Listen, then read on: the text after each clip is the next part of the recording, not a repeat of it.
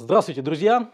Сегодня у нас в гостях находится историк Вячеслав Сергеевич Кулешов. Вячеслав, здравствуйте. Приветствую. Э, Позволю себе зачитать ваши регалии. Я так прям сразу запомнить наизусть не смог.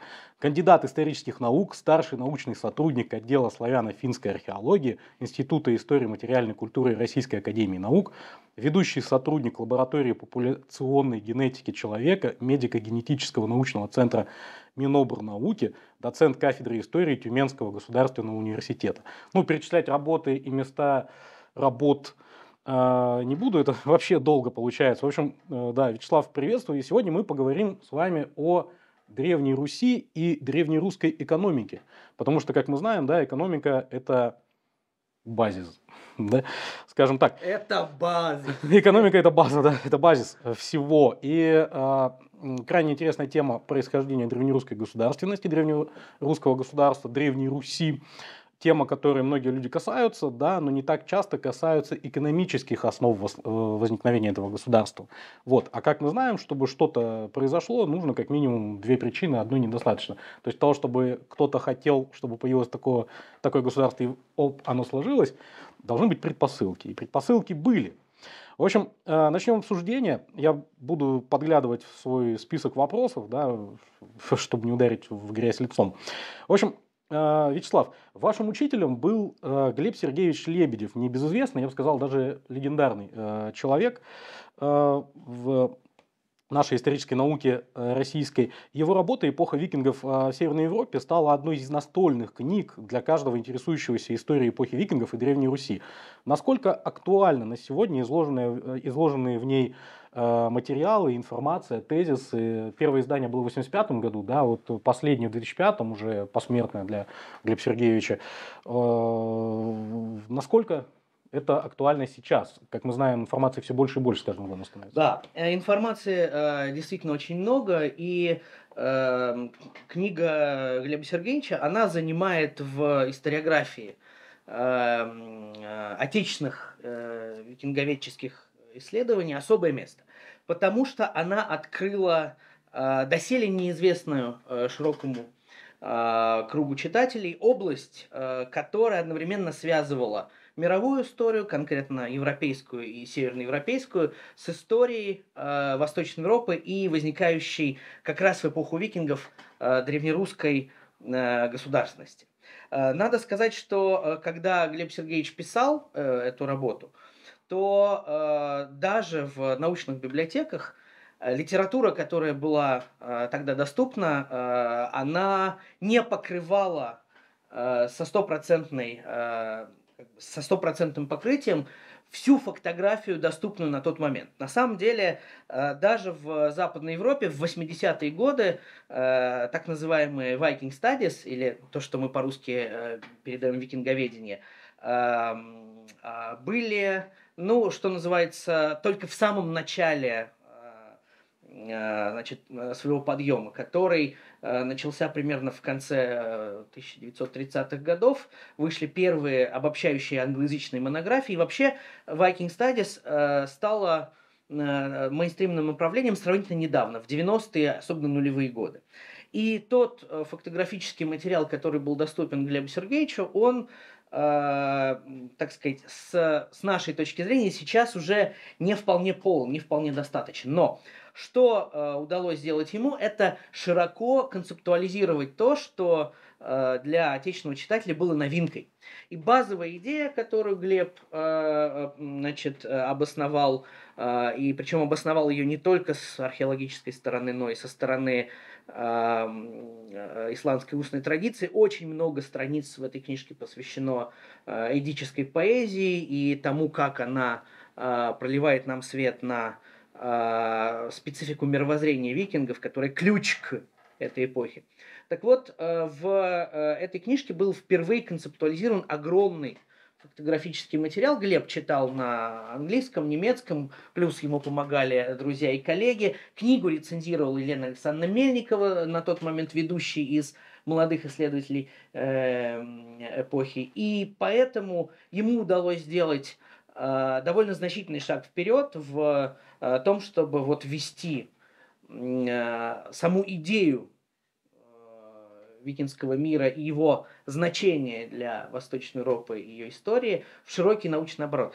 У Глеба была целая плеяда молодых учеников, которые своими раскопками на северо-западе на базовых памятниках до викинского, викинского и древнерусского времени реализовали те задачи, которые он ставил в своем таком широком концептуальном обобщении. Поэтому можно, безусловно, сказать, что эта работа лежит в основе современных наших представлений, особенно по северо-западу, но, конечно, за последние там 30 плюс лет вышло очень много нового, очень много переводной литературы, очень много было нового накопано, и сейчас, конечно, требуется переписывать. Если Глеб Сергеевич был бы сейчас жив, он бы первый согласился с тем, что себя нужно переписывать каждые 10, 15, 20 лет. Ну, то есть э, наука это, естественно, процесс постоянного поиска истины, который, как мы знаем, да, истина недостижима, но мы можем бесконечно к ней стремиться. Вот этот научный поиск, да. Истина существует, и целью науки является ее поиск. Да, вечный, так сказать, поиск. Вот, и, э, как знаете, вот э, бывает сейчас э, очень популярно у людей, далеких от исторической науки, но увлекающихся историей, обращаться там часто к работам совсем, ну не древних, но давних историков, типа, допустим, Ломоносова, и утверждать их теории как э, нечто доказанное и незыблемое, да, хотя постоянно появляются новые данные. Скажем, тот же Ломоносов, он близко не был знаком с э, той номенклатурой археологических находок, которые обладаем мы сегодня. Да. То есть, если речь идет о том, что э, исследования требуют уточнений на основе более современных данных, э, исследования, написанные там, 20 лет назад, 40 лет назад, то что говорить об исследованиях, о работах, написанных э, 200 лет назад и более. Совершенно вот. верно. А, ну, то есть э, сегодня появляется все больше археологических данных, и э, на их основе мы можем делать э, новые выводы, постоянно уточнять что-то. И такой вот вопрос, по сути, это главный вопрос сегодняшнего вечера, лично для меня точнее утро. Какое значение имели торговые пути в формировании древнерусской государственности? Можем ли мы утверждать, что Волжские и Днепровские торговые пути стали экономической основой державы Рюриковичей? А, да, значит, а, сразу кратко отвечу. Безусловно, да, этот вопрос, значит, э, э, сейчас решается только так. Э, да, международная торговля стала экономическим базисом для формирования основ значит, древнерусской государственности на всем протяжении территории будущей Древней Руси. А теперь разверну чуть подробнее. Э, долгое время в советской науке, э, значит, над которой э, висел домоклов меч постоянного соответствия марксизму в таком его очень вульгаризованном советском виде, имелось, имелось идеологическое давление, в соответствии с которым была принята догма, что в любом обществе государственность возникает тогда, когда общество переходит из одной фазы в другую, и типа как бы это процесс естественный, поскольку он э, э, управляется, значит, законом общественного развития. Да? То есть вот эти пять стадий. Да, да, да, да так называемая пятичленка. Вот. И э, все Там, советские историки... Феодализм, э, капитализм, социализм, коммунизм, да. да. Первобытный ну, сначала первобытный строй. Рабовладение, э, феодализм, капитализм и Хотя на, на, на сегодня мы не можем утверждать, что феодализм существовал во всех частях Совершенно верно. Но задачей советских историков, базовой задачей, было уложить весь исторический процесс и все то многообразие исторической реальности, которое читалось в источниках, вот в эту вот так называемую пятичленку. Поэтому так и говорили, что советские Сейчас историки... за критику советского подхода половина зрителей такая, хопа, отвалилась сразу. Нет. Выключаем, критика Советского Союза. Э, э, э, но в действительности, ребята, в советском Э, Союзе было гигантское количество блистательных историков, которые э, э, либо работали вне этой перечленки, либо так в ней работали, что перечленка оставалась только в введении и заключении, а внутри можно было читать нормальную историю. И лучшие историки работали именно так. У них не было такого вот прям вот марксизма вчитанного. Нет. Но, значит, большая часть, значит, вот исторического дискурса формировалась именно через призму вот этой печенки. Поэтому э, искали э, подтверждение тому, что вот э, закон общественного э, развития действует неумолимо и что э, каждое общество проходит через вот эти э, стадии, э, так называемые общественно-экономические формации, э, и как раз э, задачей э, историков Древней Руси было показать, что вот общество в э, пред э, и ранней древнерусскую эпоху как раз находилась в процессе перехода из э, э, разлагающегося общественно, э, значит, общественного политического строя э, первобытного mm-hmm. или э, родового, э, переходило к феодализму. И э, таким образом, значит, раз феодализм у нас государственность, то э, значит, э, получалось, что государственность у нас возникает э, естественным путем. Но Проблема была в том, и она была известна всем историкам, источники противоречили этому со страшной силой. Вычитать из источников все э, формальные показатели э, раннего феодализма, ранней государственности и всего такого, что складывалось бы естественным путем на, так сказать, э, восточноевропейской почве не получалось. Нету в источниках подтверждения э, марксовых теорий. Более того, когда э, въедливые историки стали читать Маркса, они обнаружили, что как раз про Восточную Европу Маркс писал, что значит, длительная длительный догосударственный период у восточных славян, возникновение государства Э, под э, влиянием норманов. Ужас, ужас, Маркс был норманист, как же так? Э, но в конце 80-х годов, когда марксизм перестал быть единственной догмой, точнее не, не марксизм как, так сказать, вот философия и методология науки, а вот та самая тривиальная печенка, которая в действительности родилась под пером советских методологов науки в большей степени. Да, Значит, вот, кстати, вот опять же, Маркс, он же не историк, он философ. И философ. опять же, в середине 19 века он, э, как Ломоносов в 18 веке, так и Маркс в середине 19 века близко не имел э, доступа к э, той источниковой базе, базе которую мы имеем другой источ... источниковой базе, которая сейчас есть. Да, совершенно верно. Так вот, э, оказалось, что э, естественным образом э, в Восточной Европе практически не было ни одного общества, которое бы сформировала государственность э, по тем механизмам, которые были предусмотрены э, Истматом. Э, что же, что же делать? И помогло обращение к дореволюционной русской науке, в которой значит, была задолго до 20 века и Э, всех тех прекрасных археологических открытий, которые мы имеем сейчас, сформулирована э, торговая теория происхождения Древней Руси в работах э, видного историка, профессора Московского университета Василия Осиповича Ключевского. Я э, горячо рекомендую э, самому широкому кругу слушателей прочитать э, его книги, э, они многократно переизданы. Э, торговая теория сформулирована э, в качестве такого комментария, что ли, к широкому кругу вопросов русской истории в двух его больших работах. Это курс русской истории и самая его значит, видная работа, докторская диссертация, которая выдержала пять переизданий, в том числе последняя уже значит, послереволюционная, которая называется «Боярская дума Древней Руси». Там есть в конце цепочка приложений, которые Э, в одном из которых просто сформулированы э, в самом таком полном виде его взгляды на формирование Древней Руси как э, результат взаимодействия викинского торгового капитала на речных путях Восточной Европы с локальными славянскими обществами. И э, э, торговая э, теория Ключевского, она одновременно объясняет э, формирование древнерусской экономики, формирование древнерусского урбанизма и формирование древнерусской э, государственной модели.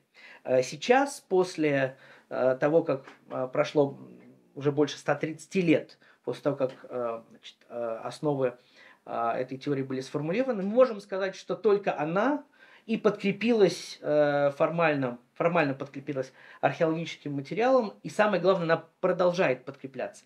То есть правота Ключевского, который э, построил э, модель, исходя из своего видения, всей суммы доступных ему тогда источников, оказалась верной. В чем заключается базовое положение Ключевского? Оно заключается в том, что русская государственность возникла э, вдоль и на торговых путях. И точки ее кристаллизации – это точки одновременно возникновения интенсивной экономической жизни и возникновения городских поселений вдоль путей, которые становились значит, вот этими хабами международной торговли между глобальным севером и глобальным востоком. А, значит, э, то есть э, с, с торговыми маршрутами, в принципе, в принципе, э, не сказать, что все понятно, да, поэтому нужны уточнения. Вот, а, а какие товары были основными на древнерусских торговых путях? А, модель глобальной торговли между Северной Европой и странами Юга, Византии, Халифатом, Средней Азии – Э, строилась на э, совершенно конкретных группах товаров, которые имели э, то, что сейчас принято называть высокий уровень глобального спроса. Что это были за товары? С на максимальной первый, рентабельностью. С максимальной маржинальностью, даже так можно сказать. Ради которых можно было это, пойти на любое преступление. Совершенно да? верно. 300-400% наценки. Да, на риск передвижения по тысячекилометровым маршрутам. Значит, товаром номер один по маржинальности э, были рабы. Угу. Рабы э, делились на две категории. Э, почему мы точно знаем, что это было две категории? Потому что в арабских источниках, которые лучше всего описали схемы работорговли 9-10 века, рабы и рабыни называются разными словами. Соответственно, когда речь заходит в каком-либо арабском источнике о торговле между странами ислама и так называемыми русами, э, купцами Аррус, которые значит, в источниках 9-10 э, века э, возникают в полный рост. Значит, эти категории обозначаются двумя разными словами, и когда надо сказать, что вот русы торгуют рабами, всегда подчеркивается, что и рабынями, и рабами-юношами. Рабы-юноши используют... А кто дороже был, рабы или рабыни? Э, мы не можем сказать, потому что есть э, источник X э, века, где значит, даются правила оценки рабов, и судя по значит, сумме данных, которые мы знаем из арабской литературы, порядок цен на рабов и рабынь э, э, зависел от каких-то... Э, То есть от множества от фактов. качества, да, от качества. То есть э, можно было задорого купить э, значит, э, раба Гуляма, э, можно было за не очень дорого купить э, рабыню-девушку. Факторы, факторы, так сказать, были э, разнообразны. Но в целом э, по маржинальности человеческий товар был на первом месте. Угу. Э, значит, э, на втором месте по маржинальности были драгоценные меха. Драгоценные меха – это тоже продукт, э, который мы можем э, отнести к категории сырьевых, потому что они добывались массово на территории лесной зоны Восточной Европы и Северной Азии. То есть везде, где естественным образом обитает белка, куница, соболь, чернобурка, красная лисица, список мехов доступен из практически любого арабского источника эпохи викингов. А, значит, а, вот эти меха добывались а, местными культурами, местными э, обществами от Балтики до, ну, фактически Сибири. Поскольку, так сказать, э, система меховой торговли сложилась до эпохи викингов и продолжалась до 19 века включительно в Российской империи. Э, то есть как фактор э, международной экономики это ну, константа. Э, так вот, ну, мы знаем, что вот где эти зверюшки с драгоценным мехом живут, там складывали системы фактически промышленной добычи, то есть в гигантских масштабах. Эти масштабы определялись только емкостью соответствующих торговых путей и емкостью рынка сбыта. Э, поэтому Китай, Средняя Азия, мир ислама, Византия, Европа. Этот мех до Китая доходил? в Китае меховая торговля началась гораздо раньше, чем э, везде в Западной Азии. Мы имеем сведения о ней уже из ханьского времени. А вот именно мех э, с территории А именно мех с территории Древней Руси, значит, э, э, с позднеантичного времени точно, э, то есть 4, 5, 6 э, века. Для 6, 7, 8 веков у нас базовым Э, контрагентом является Югорское общество в Прикамье и Приуралье, которое торгует напрямую со Средней Азией. Mm. И с середины 8 века э, к меховой торговле подключается вообще вся остальная Восточная Европа от Балтики до Урала. Это интересно, потому что э, вот мы знаем да, о шелках из Китая, да, и э, я неоднократно встречался с тезисом, что Э, не то что во времена Средневековья, а еще во времена античности, во времена расцвета Древнего Рима э, остальному миру было нечего предложить э, Китаю, и существовал торговый дисбаланс, что Китай поставлял за пределы своей территории разнообразнейшие товары, в первую очередь шелк, да, но и все прочее тоже а получал, по сути, только золото и серебро, потому что другое ничего было не нужно, они все делали сами. Совершенно и верно. это до 19 века сохранялось. А, не вполне до 19 в 7 веке а, а, значит, э, коконы тутового шелкопряда с живыми личинками были вывезены как раз по шелку да, да, да. Византию. Потом... В шестом, простите, в седьмом веке византийцы перехватили у китайцев секрет изготовления шелка и открыли второй плацдарм, второй производственный Э, центр в Византии. Поэтому э, с 7 я, века... я скорее о том, что э, в 19 веке сложилось противостояние Китая и Англии, да, приведшее к опиумным войнам. Совершенно верно. На основе того, что Китай просто не хотел торговать за границей. Ну, продолжался торговый дисбаланс. Да. Вот, то есть не хотели закупать э, заграничные товары. То есть да. вы у нас покупаете, а мы у вас ничего покупать не будем. Да. Зачем нам? Да. Но в эпоху, э, значит, в эпоху Средневековья, вообще в поздней древности, в Средневековье, э, э, вот акты государственного протекционизма, ограничивающие естественный ход мировой торговли, все-таки еще были редкостью сюжет с э, началом производства шелка в Византии, конечно же, китайцам не понравился, но э, таким образом возникло два э, мегацентра. Шелк у нас еще возникнет в нашем, э, в нашем сегодняшнем э, разговоре, поскольку э, шелк был базовым товаром который Византия могла предложить. Который двигался обратно. Двигался обратно, да. Ага. Это вот э, Супер, про путь из веки, это как раз путь, э, по которому шелк шел на, на север в Восточную Европу. Так вот, э, драгоценные меха – это категория номер два. Это очень высокомаржинальная категория. Мы знаем из источников X века, что, например, стоимость хорошей э, шкурки соболя была минимум 2 динара. 2 э, динара – это 8,5 грамм золота. То есть, если переводить это на э, наши нынешние деньги, это где-то получается 1060 рублей, да? Ну, э, конечно... 5700 сейчас грамм золота. А, значит, э, получается у нас э, где-то 40 тысяч, 40 плюс, да?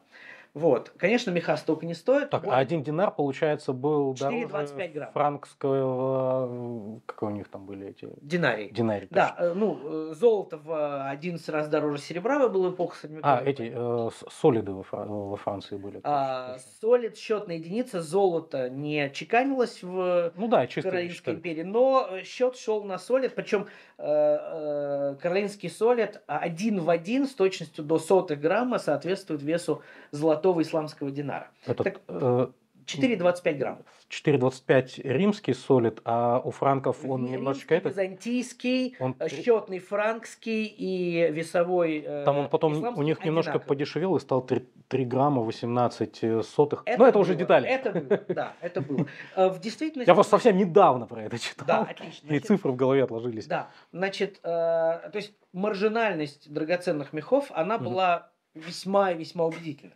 А, значит, а, и э, мы точно знаем, что мехами торговали, поскольку в меховом налоге исчислялись налоги, которые должны были платить подати, значит, mm-hmm. славянские и неславянские племена, в будущей системе древнерусского налогообложения. Натуральный налог драгоценным мехом сохранялся на протяжении древнерусской истории.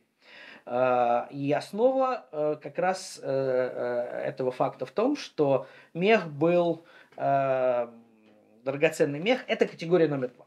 Категория номер три, которая является третьей по значимости и очень важной для э, халифата, это франкские высококачественные мечи, о которых мы знаем э, уже с 9 века, поскольку, э, значит, э, на начало их производства датируется э, каролинским временем, первой половины э, 9 века, и э, уже во второй половине 9 века э, информация об этих мечах широко известна в халифате. У нас есть замечательный э, трактат такого э, философа и эм, э, естествоиспытателя, э, значит, арабского Аль-Кинди, э, называется «Книга о мечах и их разновидностях», и там есть отдельный пассаж про то, что лучшими мечами являются так называемые франкские мечи, э, которые э, ценятся наравне с лучшими мечами, производящимися в э, Йемене. Э, в, в халифате исторически сложилось так, что йеменские мечи считались ну, самыми топовыми качества, э, качества, но это значит до 9 века. А вот в 9 веке появились э, францкие мечи, по-арабски э, э, Ассуюф э, аль-Фаранджия, которые стали э, теснить на рынках халифата самые классные мечи. Значит, А, э, а, вообще, вообще мечей... За счет чего они начали теснить? За счет, За счет цены или качества? схемы э, производства, которая обеспечивала э, э, наилучшее значит, э, конкурентное соотношение цены и боевых Мгм. качеств. Э, Значит, мы знаем, что в халифате э, было несколько десятков видов мечей. Там прекрасно знали индийские, значит, византийские, несколько территориальных разновидностей арабских и иранских. Но вот про мечи франкские, которые так и назывались, франкские мечи, да, источники пишут, что а это мечи считаются лучше. Мгм. И мы точно знаем, что их вывозили, поскольку находки франкских мечей, причем э, именно э, вот э, без э, э, перекрестия и э, навершия, которые вторичны по отношению к самому клинку. То есть просто клинки. Да, просто Мгм. клинки массово производились в э, э, значит, мастерских по Рейну, который Мгм. являлся границей между франками и саксами тогда. И э, по Рейну они же вывозились через э, э, такой торговый хаб, который до 860-х годов служил базовым хабом торговли между Каролинской, Каролинским королевством и викингами в Дорестаде. Вывозились они северным, значит, Северным морем, потом Балтийским морем, и через всю Восточную Европу они путешествовали в, в э, халифат. Поэтому мечи, франкские мечи, именно франкские мечи, мы хорошо знаем, как они выглядели, мы хорошо знаем, как они ковались, мы знаем их типологию, мы знаем их технологию, мы знаем, как их любили за их замечательную инкрустацию э, серебром, золотом, медью, о чем тоже написано в трактате Алькинди. Э, Кстати, есть... э, А есть прям даже вот находки, да, на Да, да, восточных есть территориях, на арабских, Я, э, каролинских мечах. Совершенно верно. Мгм. Я э, всех слушателей э, хочу побудить читать работы Сергея э, Юрчикайнова, который является мечеведом э, по каролинским мечам номер один в нашей стране. Он все о них знает, и когда-нибудь, я надеюсь, он э, здесь запишет свой рассказ о э, этих самых мечах. Да, так вот, э, находки э, каролинских мечей э, сопровождают все, без исключения, главные раскопанные еще, которые только будут раскопаны, центры викингской активности на всех территориях, э, где викинги торговали.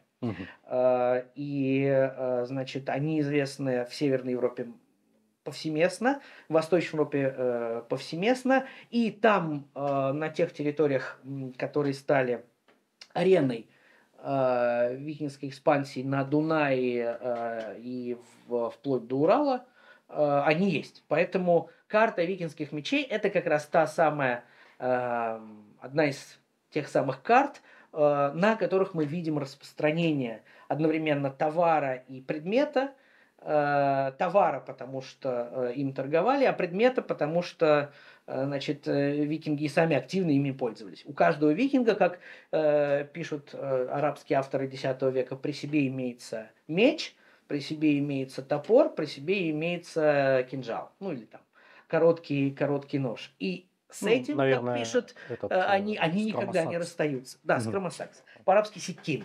Ага. Мы не знаем, сикин и сикин, нож. Ну, какой-то нож. Вообще, каролинских мечей больше четырех с половиной тысяч найдено на данный момент, да?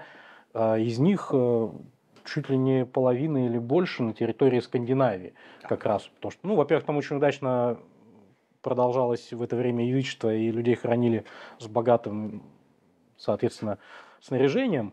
Вот. А во-вторых, у них прям существовал же натурально культ меча. То есть Однозначно. это была супер статусная вещь, которую каждый уважающий себя воин, э, правильный пацан, да, должен был иметь подобно тому, как дворяне носили шпаги в поздние Совершенно верно. времена. Более того, меч э, как базовый компонент вооружения э, входил в систему обрядовой магии.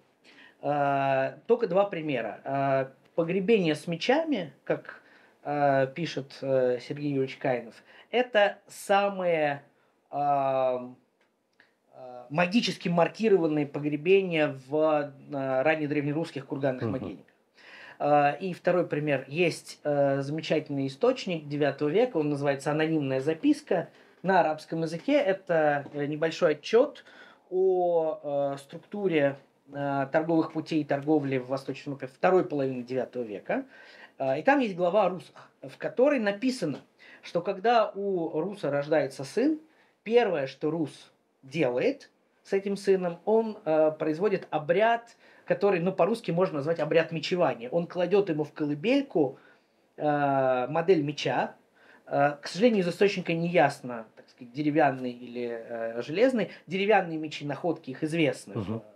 Э, значит, викинских древнерусских поселениях Восточной Европы, кладется меч в колыбельку и произносится заклинание, которое в этом арабском источнике переведено примерно так. «А, а, «Я кладу тебе а, с собой только меч и ничего кроме меча, потому что этого достаточно для того, чтобы ты сделал свою жизнь и добился всех целей и стал бы богатым человеком». Значит, примерно такой э, значит, посыл. И не приходится сомневаться в том, что э, это именно так, поскольку все, что мы знаем о статусе меча в культуре э, викингов и культуре Древней Руси, подтверждает эти слова. То есть э, три основных категории товара, получается, у нас э, мы видим это э, рабы, э, Рабы, меха, меха мечи. мечи. Это не значит, что других не было, другие были, но они были менее маржинальными. И угу. все другие тоже носили сырьевой характер. Э, значит, э, на четвертом и пятом месте в источниках перечисляются обычно мед и воск. Воск – это штука, которая нужна для свечей. В, в южных культурах, культурах цивилизации, Византия, ислам – воск был импортным. А, обычно все освещение делалось через жир, там, значит,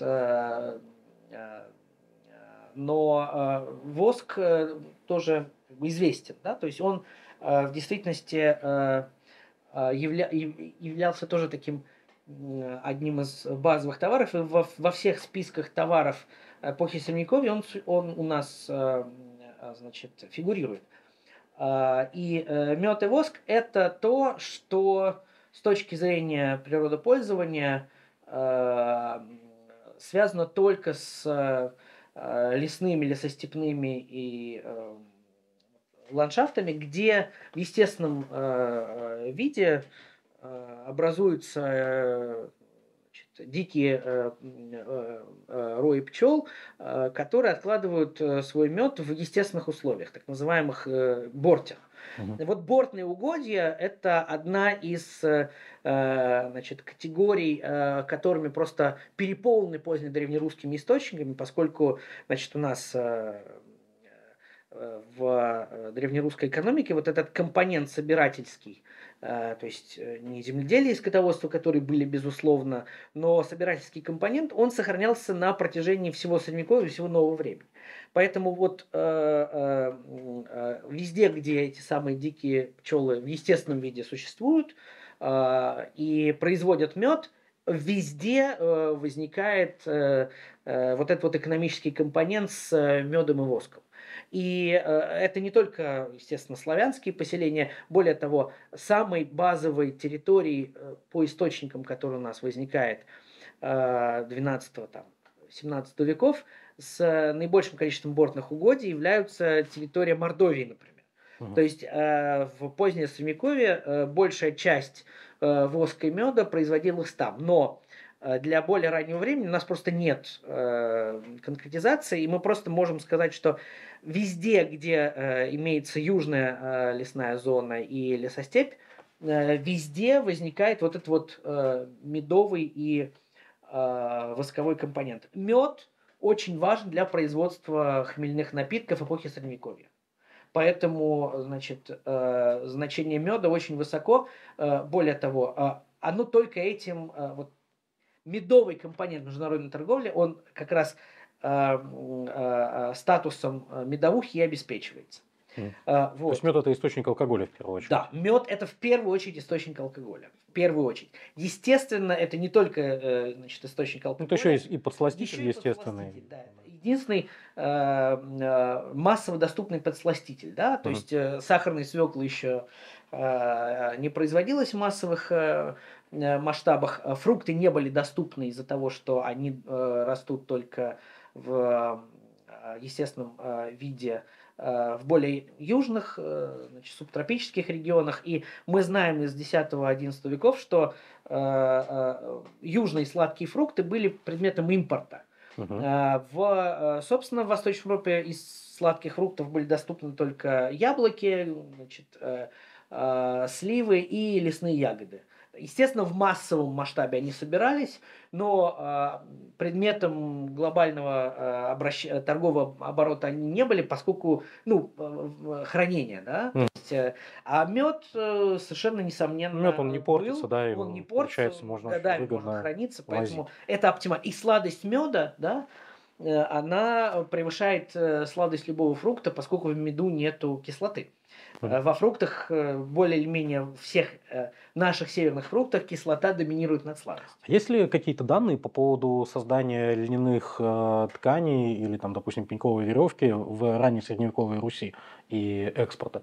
Потому что, скажем, в более поздние времена, времена уже великих географических открытий, экспорт пеньковой веревки был через Псков и Смоленск на запад был огромным источником прибыли, дохода, да. дохода э, русского государства, да, и э, вплоть до того, что мне попадались такие данные о том, что чуть ли не треть всего такелажа европейских флотов э, в, эти, в те времена великих географических открытий были обеспечены за счет русского льна. Вот насчет раннего средневековья для, уже производился лен да, или это викингов, спекулятивно? Для эпохи викингов лен фиксируется, безусловно, он есть. Он, он, он есть и э, как э, значит, предмет, из которого изготавливают одежду, и Э, культура под выращивание, но э, из источников мы не видим широкого масштаба международной торговли льном. Угу. По-видимому, он был э, товаром локального уровня, не глобального, не магистрального международного, угу. а локального.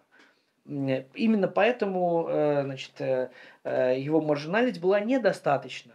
Ну и потом, смотрите, история Э, значит, эм, говорит нам за то, что в каждый конкретный момент времени эм, э, значит, э, структура глобального спроса предложения, она определяется самыми высокомаржинальными товарами. И она меняется, когда меняется глобальная конъюнктура. Mm. Это нормально. Для, для, для льна у нас просто как бы на эпоху викингов таких прямых данных, что вот льном торговали массово, мы не имеем. Для более позднего времени имеем. Так, а, соответственно, с номенклатурой товаров более-менее понятно. А, вы отметили значение работорговли. Так вот, а, в связи с этим у меня уточняющий вопрос. А вот работорговля, она в общем вообще товарообороте Восточной Европы, Скандинавии, Руси, Византии, Арабского Востока, она насколько большое значение имела? То есть это просто был один из выгодных товаров, или это прямо что-то такое системообразующее? Ну, то есть нас, насколько значимой доля работорговли была и э, как она была организована? Вот есть какие-то данные? Да, значит, э, работорговля, значение работорговли э, объясняется тем, что преемственность международных экономических систем от античности до раннего средневековья была. Э, мы знаем, что э, классический античный мир, вот мир западного, Западной Азии, э, особенно римского времени, был основан на масштабном, абсолютно капиталистическом по своему складу значит, эксплуат... использовании рабского труда. Угу. То есть и рабовладение как основа античной экономики после трансформация античного мира через позднюю античность в средневековый мир никуда не делась. Никуда не делась. То есть э, нам говорят, что вот между классической античностью и рабовладельческим способом производства и так называемым феодализмом лежит грань, через которую общество должны пройти э, и вступить э, значит, на путь, где значит, эксплуатация земельных ресурсов э, будет покрывать да, э, задачи экономического роста, которые в, при рабовладении покрывались за счет рабского труда. В действительности мы видим э, и по источникам, и по археологии э, картину другую, картину, при которой поздний античный мир медленно прорастает внутрь будущего средневекового, далеко не везде повсеместно феодального. И в этой схеме, в этой модели работорговля никуда не девается. Более того, ее масштабы, судя по всему, увеличились по сравнению с античностью. Значит, поскольку в античности, э, э, значит, э, как мы знаем из суммы в первую очередь типографических источников о работорговле, к третьему веку был достигнут баланс демографический между значит, задачами производительности от земельных территорий и тем наличным объемом рабов, которые эти земли Э, обрабатывали. Э, данные по Испании, данные по Галлии, то есть по самым таким э, большим территориям с капиталистическим и рабовладельческим трудом. Да, я забыл сказать, что в современных терминах античное рабовладение не является системообразующим признаком цивилизации. Античная цивилизация была капиталистической по своему характеру. Причем эта идея восходит еще к XIX веку, сейчас она просто да, более широко принята. Капитализм, он напрямую связан с индустриализацией. А, а Э, классический современный капитализм, да, но так называемый архаический капитализм до 18 века, э, он фиксируется в немалом количестве обществ, начиная с эпохи Средней бронзы и э, вплоть до позднего Средневековья. Поэтому он капитализм не противоречит ничему другому. Угу. Задача, в принципе, в Древнем Риме мануфактуры уже существовали. да, Древний Рим был... верфи по производству оружия. Совершенно верно. Древний Рим Э, по характеру э, экономики был капиталистическим, э, капиталистическим экономикой, как в земледельческом секторе, так и в ремесленном. Это потрясающий совершенно факт, который сейчас в зарубежной науке все более или более становится очевидным. У нас он пока не очень а, широко признан, потому что дискуссия о том, что такое, вообще как устроены разные экономики, э, эти дискуссии в значит, отечественной исторической науке ведутся пока недостаточно, э, так сказать, э, интенсивно. Но, что я хочу сказать, возвращаясь к рабовладению, в поздней античности, когда был нарушен Э, политический территориальный баланс империи и э, общества, которые возникли э, на, так сказать, на, на базе остатков этой империи, это Византия в Восточном Средиземноморье и исламский халифат на Крайнем Востоке, Средиземноморье, Аравия и все бывшие значит, восточные провинции Римской империи, плюс присоединенный в 651 году э, территории э, сасанидского Ирана, вот этот весь халифат э, находился в ситуации колоссального экономического роста. То есть драйвером мировой экономики значит, вот, в эпоху так называемой поздней античности, то есть переходу от классической античности к средневековью, драйверами было три больших империи. Танский Китай, исламский халифат и Византия. И э, если в Танском Китае э, рабовладение сохраняло ограниченный характер, оно было, э, но там не было э, гигантских масштабов работорговли, то в халифате Византии работорговля приняла колоссальный э, характер. Масштабы э, значит, э, превысили то, что мы знаем э, из поздней античности, поскольку движение, территориальное движение рабов было более интенсивно, чем, чем, чем в античности.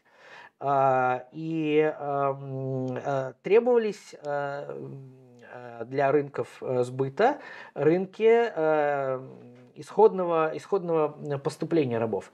Такими рынками, такими большими макротерриториями стали территории Центральной Азии, откуда в халифат поступало большое количество рабов тюрок, которые использовались главным образом в военном деле. И э, э, Центральная и э, Восточная Европа, откуда поступало большое количество рабов-славян, рабов и рабынь славян, э, настолько большое, что в западноевропейских языках слово латинское для обозначения э, значит, раба было заимствовано от самоназвания славян. Это этимологический факт, э, который восходит к античному времени, ко времени, когда э, славяне только-только впервые появляются на мировой арене, это 5, 6, 7 века, э, и э, значит, э, э, западноевропейский, вообще западноевразийский рынок э, работорговли, вот его западные значит, э, э, центры, э, по сумме источников, это сплошь славянская работорговля. Э, почему так случилось, э, понять нетрудно поскольку э, в эпоху э, расселения славян с э, их прародины имелся колоссальный демографический взрыв, который был связан с тем, что исходно очень маленькая территориально значит, этническая единица, локализованная где-то в Полесье, за век полтора-два территориально распространилась на территории с очень вы, э, с очень э, удобными условиями для земледелия. И демографический взрыв был обеспечен именно территориальным расширением. Так вот, демографический взрыв среди э, славян Центральной и Восточной Европы не утихал на протяжении всей раннеславянской эпохи. Поэтому количество рабов, которые сами же славяне давали на международном рынке, э, покрывало все его потребности. Э, почему так происходило, мы тоже знаем из источников. Славяне торговали друг другом. То есть, а грубо говоря, устроено? Друг, устроено. То есть это одни э, отец продавал детей. А. Отец а. продает детей, значит, э, э, э, если возникали какие-то внутренние конфликты, а мы знаем, что славянские общества между собой воевали, будь тенате, угу. то есть мы это знаем с первого века нашей эры, когда появляются первые сведения об этом. И Я вплоть до... перебью, вот когда говорят, типа, а вот э, если Рюрик был скандинав, это плохо, а вот если он был славянин, это хорошо. Почему? Почему, если Рюрик был какой-то там дальний славянин из какого-то западного племени, которое с удовольствием бы поторговало новгородскими славянами? Совершенно верно. Почему, почему это было хорошо? Почему да. лучше, чем скандинав? Да, да. Если а, Рюрик вообще был легендарный фигура. Да, ну, да, э, был, не был, э, как не бы это, это просто ну, был или не был, это не имеет отношения к глобально-экономическим вопросам, потому что э, ну, ну, иррелевантно, да, то есть вот э, э, мы, э, когда смотрим на э, специфику исторического процесса, то Э, конкретные персонали, ну, они не решают э, проблему. То есть, э, если в источниках сказано, а в источниках э, э сказано, поскольку это Э, так сказать, у нас э, представление э, элиты Древней Руси о самой, о самой себе, что княжеская династия восходит к Рюрику. Более того, мы теперь знаем, что у него те летописные сообщения о нем, которые у нас имеются в летописной традиции, они подтверждаются археологически. Это вот, вот буквально последние годы. Так вот, возвращаясь к работорговле, славяне – Э, оказались той самой э, удобной э, общностью, которая с легкостью включилась в международную работорговлю, поскольку они продавали сами себя. об этом написано довольно много, и э, удивляться не приходится, поскольку все архаические общества, вот досовременные общества, э, э, не, э, как бы не э, ценили э, свободу, э, индивидуальную свободу как абсолютную ценность. Для них mm. это прослеживается, скажем, в, на Руси вплоть до там, 16 века. У нас просто есть данные об этом, первой половины 16 века, Сигизмунд, Герберштейн и так далее. Для большей части средневековых обществ свобода была экономической категорией. То есть, если нужно было выручить за собственную свободу деньги, они шли на это. Тем более, значит, в эпоху раннего средневековья, когда избыток избыток демографии, да, избыток э, детей порождал э, желание от э, некоторой части детей избавиться методом, ее, методом их продажи. И э, вообще это было ну, для ну, архаических обществ с, нормой. представлением о морали, конечно, это, это не, вяжется. вяжется. Я думаю, что сейчас значимая часть такой вот э, турбопатриотической аудитории, если она попала как бы в, на, на наш э, ролик каким-то образом, да, просто так, не то, что отвалится и повыключает, но напишет супер гневные комментарии, типа вы тут да, продвигаете но... какие-то тезисы вражеские, да, какие-то. Э, то есть... Вражеские э, тезисы э, в действительности восходят к показаниям авторов эпохи Средневековья. Угу. Мы э, совершенно точно знаем, что как, как это же иностранцы, такая... они, иностранцы. они стремятся оболгать, это все неправильно. Ну, э, в таком случае они стремятся оболгать самих себя, потому что э, э, купли-продажи всегда две стороны. Э, э, то есть, э, если рабов продают, значит их кто-то покупает. И покупали их тоже будьте нате в действительности. Угу. У нас есть э, для, собственно, древнерусского времени целая проблематика. Это проблематика так называемого холопства. Э, в древнерусском языке, во всех, во всех славянских языках было слово для обозначения раба, это слово холоп. По-прославянски оно звучало как халпа. Так вот, значит, этот самый, это самое холопство прослеживается... Халпа звучит немножко как-то по-фински но немножко по-фински, но вот оно так и произносилось до начала IX века. Угу. А, потом оно стало произноситься холп, которое в каких-то языках стало хлап, в каких-то холоп, в каких-то хлоп. Поэтому в тех, где оно стало хлап, мы их называем южнославянские, в тех, которых оно стало холоп, мы называем их восточнославянскими, а в тех, которых оно стало хлоп или хлопец, мы их называем западнославянскими. Если бы я Очень был э, таким этим, как это называется, фолк-лингвистом, как бы, то я бы увидел связь между словом хлоп, холоп, хлопок и, соответственно, производ производством хлопка на плантациях. Э, ну вот с хлопком это не связано, а вот, рабами, да, как... а вот, скажем, со, со словом хлопец связано. Угу. Хлопец дословно это э, молодой раб. Просто-напросто.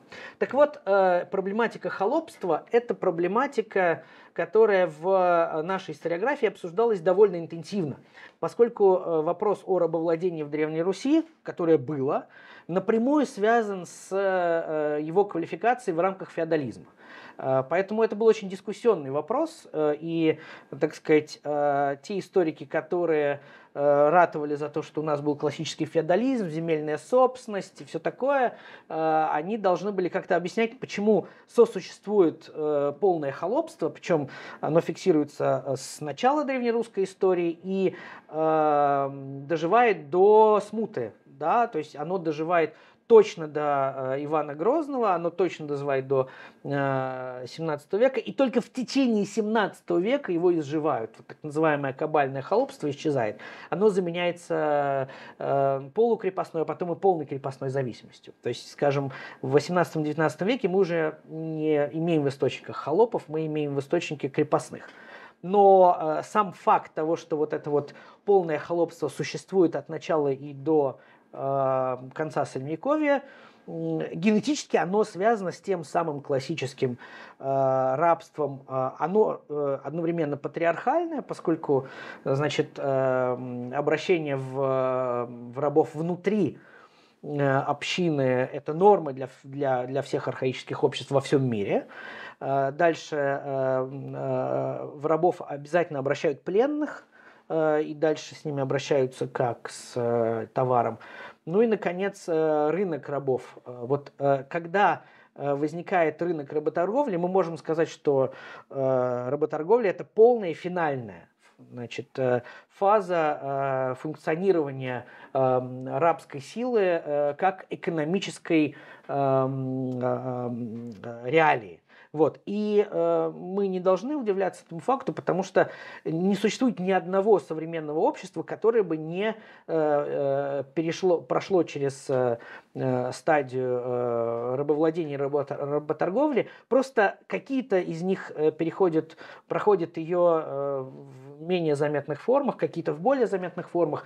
Э, вся европейская э, история эпохи нового времени – это э, история Э, галопирующей работорговли, э, то есть как бы тут нет э, факта для удивления. Это скорее такой вот основание для того, чтобы учиться на, на прошлом и смотреть, как же, значит, вот разные формы несвободы, а, которых были многие разновидности, функциональные, формальные, территориальные, хронологические, как они взаимодействовали друг с другом. Более того, я э, не считаю, что мы э, полностью победили работорговлю и рабовладение. Вся да, современная... исследования говорят о том, что рабство в нашем У нас мире... латентного рабства десятки разновидностей по всему миру. И еще в том числе в разных в объемах. Странах.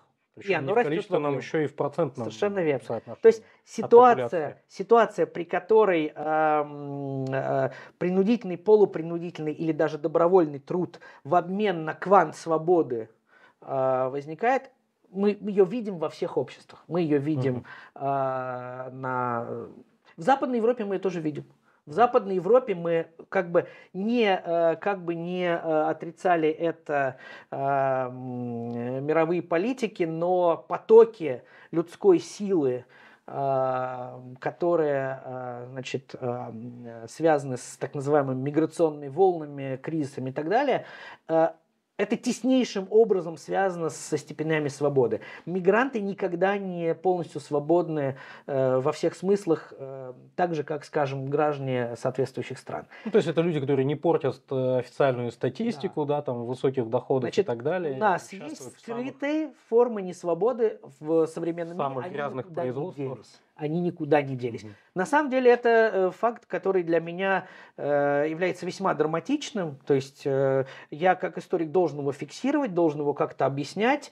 И надо сказать, что размышления об этом меня всегда, естественно, печалят, да, потому угу. что я как свободный человек люблю свободу, и мы все должны ее любить, но мы должны также видеть, что у нас сейчас ее много во всем мире. Э, так вот, обращаясь к эпохе Средневековья, мы видим ситуацию, при которой э, не свобода была нормой для целой, э, целой серии социальных групп в, в, на, на, на Руси, в Европе и в цивилизациях Средневекового юга.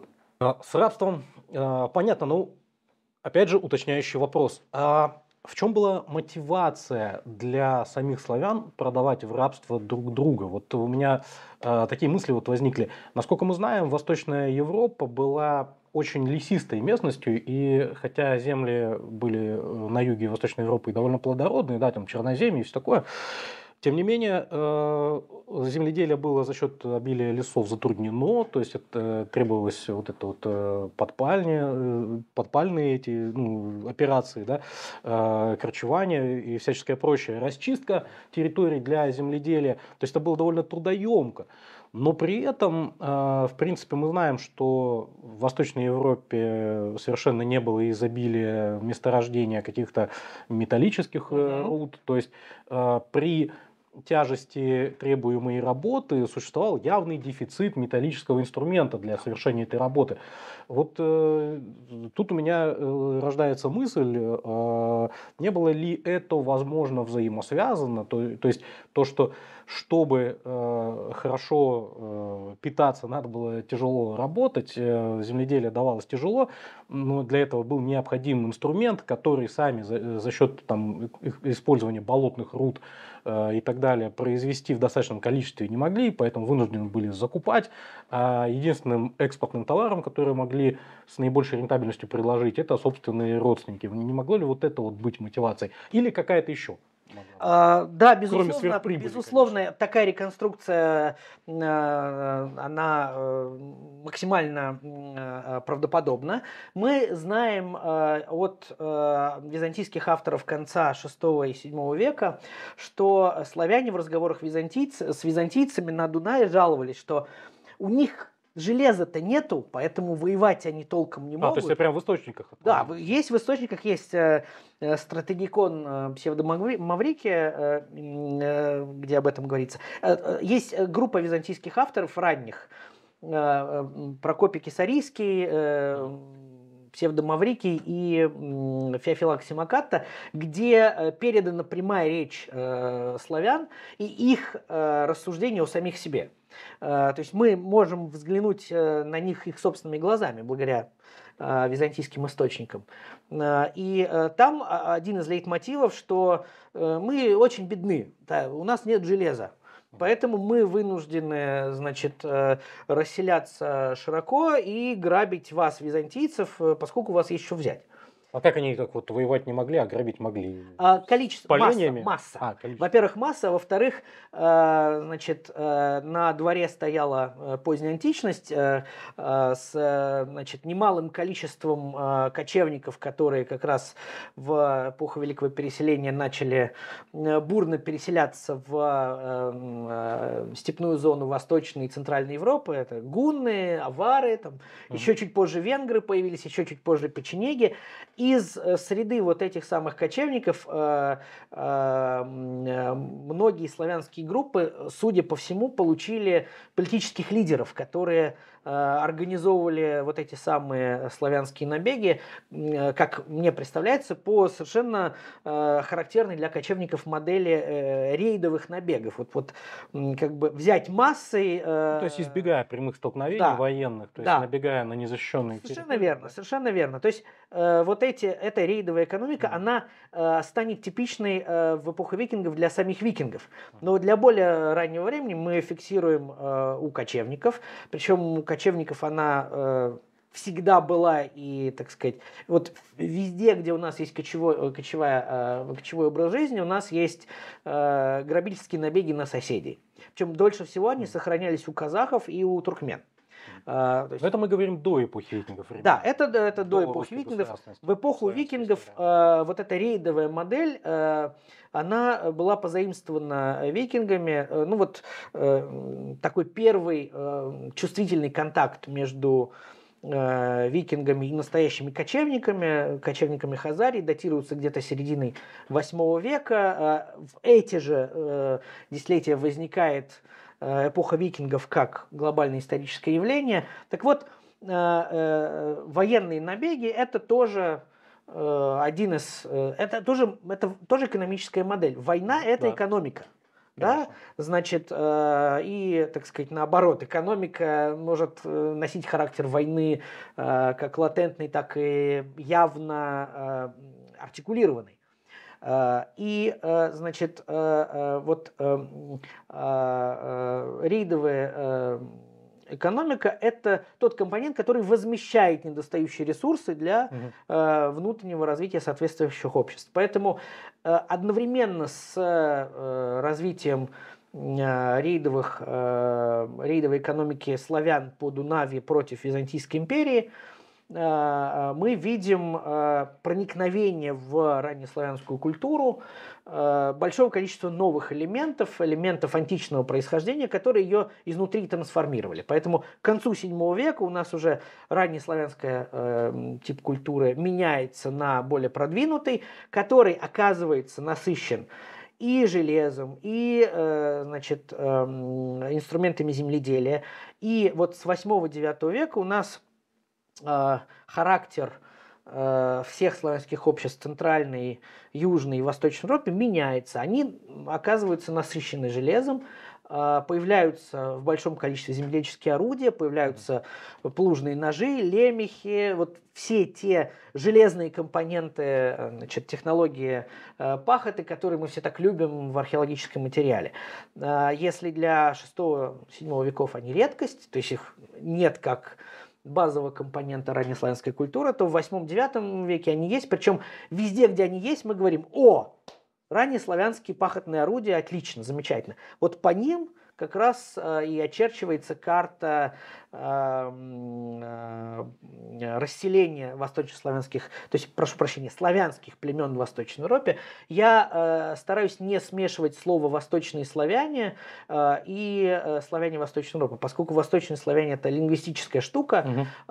которая, как реальность, датируется более поздним временем, это классификация – славянских... Э, то есть славяне, которые живут в Восточной Европе, и восточноевропейские славяне... Да, это не одно и то же, это разные, да, разные хронологии. Славяне Восточной Европы э, – это э, значит, э, те племена, ко э, которые мы э, видим на археологической карте Восточной Европы 8, 9, 10 веков. А, а восточные славяне – это общее обозначение для э, русских, украинцев и белорусов. Uh-huh. И э, это разная хронология, да, потому что три восточнославянских э, народа возникли в позднее древнерусское время. А на эпохе возникновения Древней Руси как большой многоплеменной политической единицы, все славяне были еще единым народом, которые прекрасно осознавали свое единство и не противопоставлялись по большим территориальным группам. Э, по маленьким, да, их, было много десятков, они в источниках все известны. Но по большим нет. Э, общий славянский язык сохранялся до 11-12 веков. То есть все славяне до э, возникновения э, различных славянских государств и на этапе возникновения славянских государств говорили на одном языке. Это при, замечательный фундаментальный факт, который в ну, как бы широкой публике недостаточно известен. Это очень важно. Поэтому мы не можем говорить восточные славяне для эпохи, когда все славяне еще были одним народом. Mm. Это и по лингвистике так, и по письменным источникам так, и по археологии так. Как бы здесь очень важно именно все эти факторы вместе. Mm. То есть э, вырисовывается такая картина, как я это понял, в времена поздней античности и раннего средневековья до э, древнерусских времен, до становления древнерусского государства, славяне Э, соответственно, занимались э, земледелием. Да. Земледелие было достаточно э, тяжелое, не хватало инструментов, поэтому приходилось торговать, в том числе и потому, что это еще и выгодно, торговать славянам другими славянами, да. на вырученные средства покупать э, железо. Все, что надо. Все, что нужно. Из этого железа производить средства производства, воздел, возделывание земли и так далее – в том числе производить оружие, мечи, э, не мечи, а эти копья, топоры, мечи, угу. это я маху да, дал. Короче, э, копья, топоры, да, и уже с этим оружием идти в набеге добывать, чего еще не хватает. Да, да. Вот. То есть вот как-то вот так вырисовывается. Да, при этом все это, все эти процессы шли одновременно. То есть это очень важно понимать, что э, когда мы говорим о том, что значит вот культура, экономика, там общество развиваются, Э, и обычно говорят, мы должны выделить какие-то ключевые факторы, базовые, ведущие, э, и э, дальше от них отталкиваясь, строить дальше логическую схему, а как дальше все шло. Mm-hmm. Это все одновременно происходит, причем происходит это все одновременно в в три этапа. Вот э, э, когда мы говорим о том, что вот э, предыстория славянской Восточной Европы, значит, это такая комплексная штука, мы должны обязательно исходить из того, что три этапа противопоставлены друг другу. Самый ранний этап, когда славяне еще представляют собой очень маленькое общество на очень маленькой территории, по археологическим данным это средняя и нижняя Припять, вот э, та самая Припять, которая с севера и с юга зажата большими массивами болот, и, э, в общем, особо там как бы делать нечего, но общество там существует. Э, первый, второй, третий, четвертый век памятники сейчас уже известны, в середине IV века формируется та самая раннеславянская археологическая модель, которая начинает экспансию на запад и на э, юг благодаря тому, что в эпоху Великого Переселения открылись такие возможности. Э, и э, вторая половина четвертого и до конца седьмого у нас период быстрой экспансии славян. Эта экспансия очень быстрая, э, век-полтора, и мы видим э, те самые горшки, те самые землянки те самые печки-каменки, которые мы видим на Припяти в 4-5 веках. Мы уже в конце 5-6 мы их видим э, на территории современной ГДР, мы их видим на Балканах, мы видим на Дунае. То есть очень быстрая экспансия на, на гигантскую территорию. Э, при этом надо иметь в виду, что это был еще один народ, один язык, который сохранял э, все формальные, функциональные и существенные признаки единства э, последующие полтысячелетия. Вот именно в этой среде возникла э, потребность в, во встраивании в тогдашнюю мировую работорговлю, которую реализовали значит, западноевропейские арены, Э, византийские и в эпоху викингов э, значит, э, восточноевропейские и исламские. Вы вот. знаете даже, какая параллель пришла на ум? А, как во времена раннего Советского Союза при сталинской индустриализации для проведения этой индустриализации Советский Союз был вынужден вплоть до того, что в ущерб себе, а, вплоть до голода продавать сельскохозяйственную продукцию для закупки импортных станков и средств производства, так и славяне в додревнерусскую эпоху были вынуждены продавать во многом рабов, потому да. что им больше нечего было предложить на мировом да, э, рынке. Да, получается так. Получается да, так. И то есть они за счет этого покупали средства производства. Да. То есть таким образом мы как бы даже объясняем и преодолеваем моральную дилемму, которая может немножечко как-то свербить у турбопатриотов, да. Да, как бы, которые не а. понимают э, взаимосвязи, причин. Тут еще важный фактор, я об этом говорил, повторю, не устану повторять. Демография. Когда у вас э, колоссальный демографический рост, просто колоссальный. Это, значит, если его, значит, реконструировать в виде графика, то там будет экспоненциальный рост. Mm-hmm. То есть э, как бы... По ну, истории современного Китая да. нам э, знакома продажа собственных детей разного возраста да. э, в 20 веке. Совершенно верно. Экспоненциальный рост. Вы можете избавиться от излишков э, как бы демографической ситуации просто методом прямой продажи. Mm-hmm. Это именно то, что мы видим. Э, и именно поэтому оказывается, что на протяжении вот этой вот поздней античности э, и раннего Средневековья славяне оказываются э, просто по количественному критерию самым массовым э, живым товаром. То есть, так, с экономической базой торговли, сложившейся до древнерусского периода, мы разобрались. То есть были уже предпосылки к формированию предпосылки были торговых путей да. э, по этим территориям в уже времена позднего раннего средневековья, да. эпохи викингов, так называемой, да.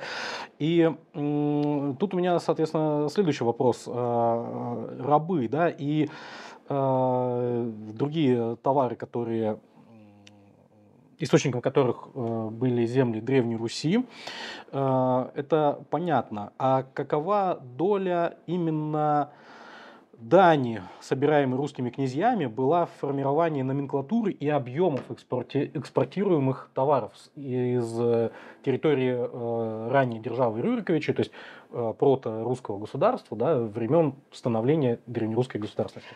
А, значит, мы имеем хорошие письменные свидетельства о структуре Дании для X-XI веков. Значит, э, то есть средний и поздний этап эпохи викингов, когда древнерусское, раннее древнерусское государство уже было и функционировало. И э, мы видим э, два типа э, единиц, которые э, в источниках ассоциированы с э, данью. Значит, э, первый тип единиц это меха, и второй тип единиц – это э, деньги, судя по всему, тогда в виде монетного серебра. Монетное серебро э, – это такая э, категория, одновременно экономическая и хорошо фиксирующаяся в археологических находках, которая э, имеет конечную дату, и финальную дату, мы можем сказать, что на территории всей Восточной Европы возникновение монетного, массового монетного обращения связано с викинской торговлей с халифатом.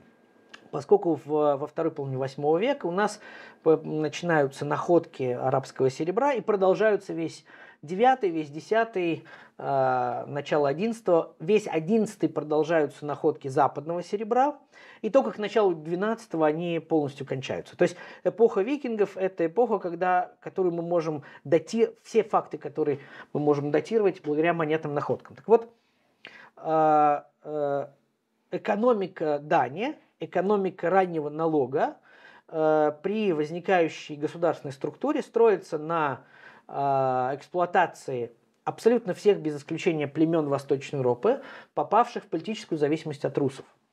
Э, половина этих племен были не славянские, это были балтийские, прибалтийско-финские и волжско-финские племена. Э, то есть вся территория Восточной Европы в эпоху сложения древнерусской государственности была разноэтничной, разноплеменной, э, разноязыковой. То есть э, по моим максимально скромным подсчетам в X веке в лесной зоне Восточной Европы говорили примерно на 30 языках. Примерно, плюс-минус. 30. 30, из которых только полтора были славянские, все остальные нет. Вот. А то остальные есть, финно-угорские? Да, финно-угорские, балтийские, Хотя а, и тюркские, да, вот Волжская Булгария. А, Волжская Булгария, тюркский, но Волжская Булгария не входит в а, территорию державы Рюриковича, она ну, это восточный сосед. Да, независимый характер. То есть э, на рубеже 9-10 века она э, отделилась от Хазарии и значит, стала независимой. Но все, что не Хазария, все, что не Волжская Булгария, это все остальное Русь.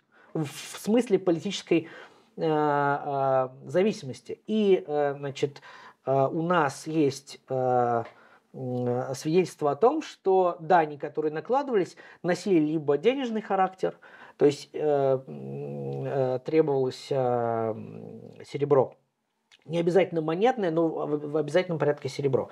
И к X веку серебро уже везде было, благодаря предшествующему этапу.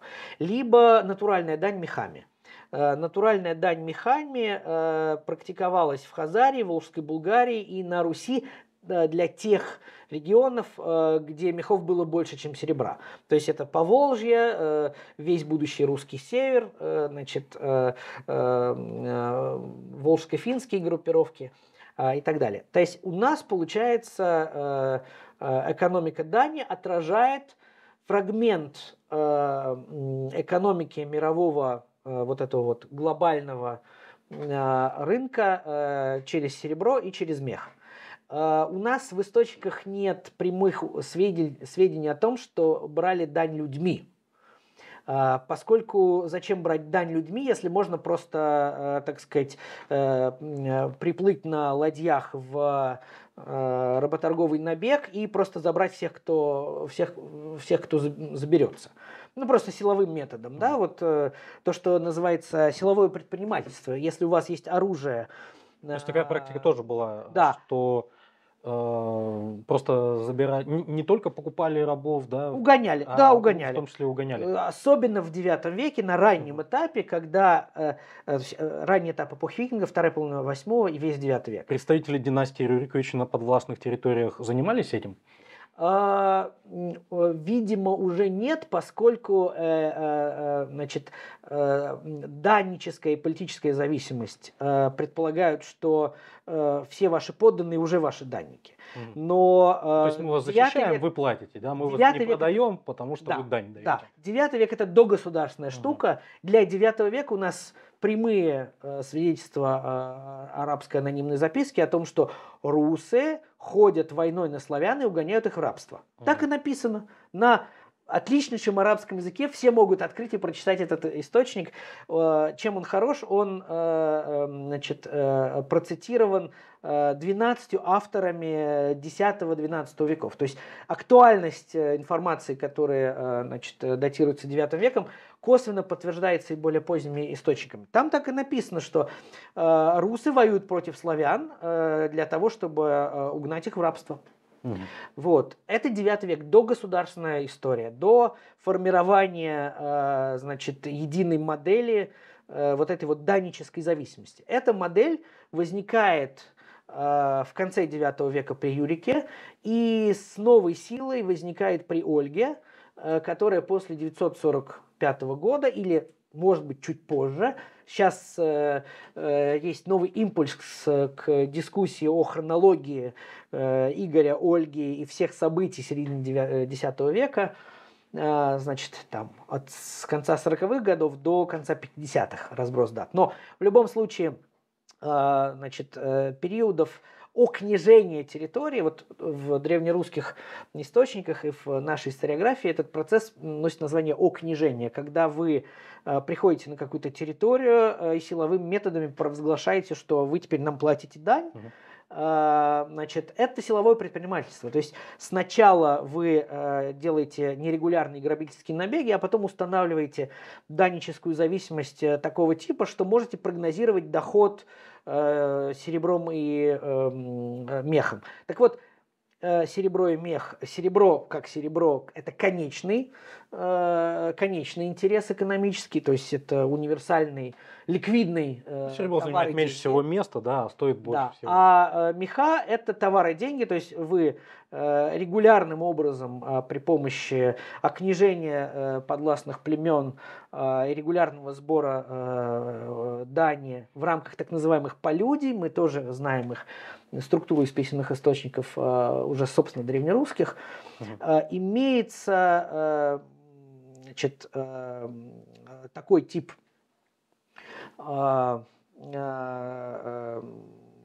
натурального налога, как меха, который прямо после сбора идет дальше на международный рынок. То есть вы сразу методом сбора дани получаете продукт, который вы дальше везете в халифат Византию и продаете. Очень удобно. Более регулярно, более цивилизованно и э, прямая ступенька к, э, так сказать, к экономической основе государственных отношений между русами и, и, и, и податными племенами. А вот так вот, допустим, вот э, представители администрации Юриковича и их э, дружинники значит, проехали в Полудье, э, в Полюдье, э, собрали дань, как э, князья или их дружинники сами везут на внешние рынки, или они купцам перепродают? Как, как это? Это прекрасный вопрос, это замечательный вопрос, который нас э, э, просто окунает в самую сердцевину эпохи викингов, в, в ее модус. У эпохи викингов три модуса. Э, и э, спецификой эпохи является то, что каждый человек должен реализовать все три, ну не одновременно, но на протяжении жизни. Модус номер один – ты должен быть грабителем. Модус номер два – ты должен быть торговцем. Модус номер три – ты должен быть наемником. К ним одновременно добавляется еще четвертый модус, который не отменяет все три, но э, значит, э, э, сочетается с ними. Это ты еще желательно должен быть ремесленником. А еще вот можно добавить защищать своих данников. А, это, значит, защищать данников – это прямой путь к политике. К государству. Государству, да. Мы же знаем концепцию Тилли, государство как стационарный бандит. То есть все равно в любом случае любое государство возникает из э, урегулированного бандитизма. Э, Сейчас нам либералы норма. лайков наставили. Да, э, это норма. Э, и э, на раннем этапе возникновения государства, конечно же, э, оно проходит э, довольно быструю эволюцию от полного беспредела к э, формализованному беспределу, а mm. от формализованного беспредела к вполне себе э, прото, протогосударственным отношениям. Так вот, э, эпоха викингов это когда э, ты за жизнь э, проходишь несколько ролей. Э, значит, э, это роль э, грабителя. Собственно, слово викинг в языках Восточной Европы так и, так и осталось в таком значении. И э, образ эпохи, он связан вот как раз с этими неурегулированными, по исполненными жестокости викинскими рейдами. Э, значит, э, они начинаются Ну, первый письменно засвидетельственный рейд это 793 год. Линдисфарн. Линдисфарн. А последний, ну, грубо говоря, там, конец 11 века. Ну, несколько. Да, Суровый. да. Э, Хотя значит, это уже не рейд, это уже... Это уже не рейд, это уже регулярная война, да, да вполне себе средневекового типа. Один феодал против другого. Но э, условно э, считается, что вот да. Второй модус – это торговля.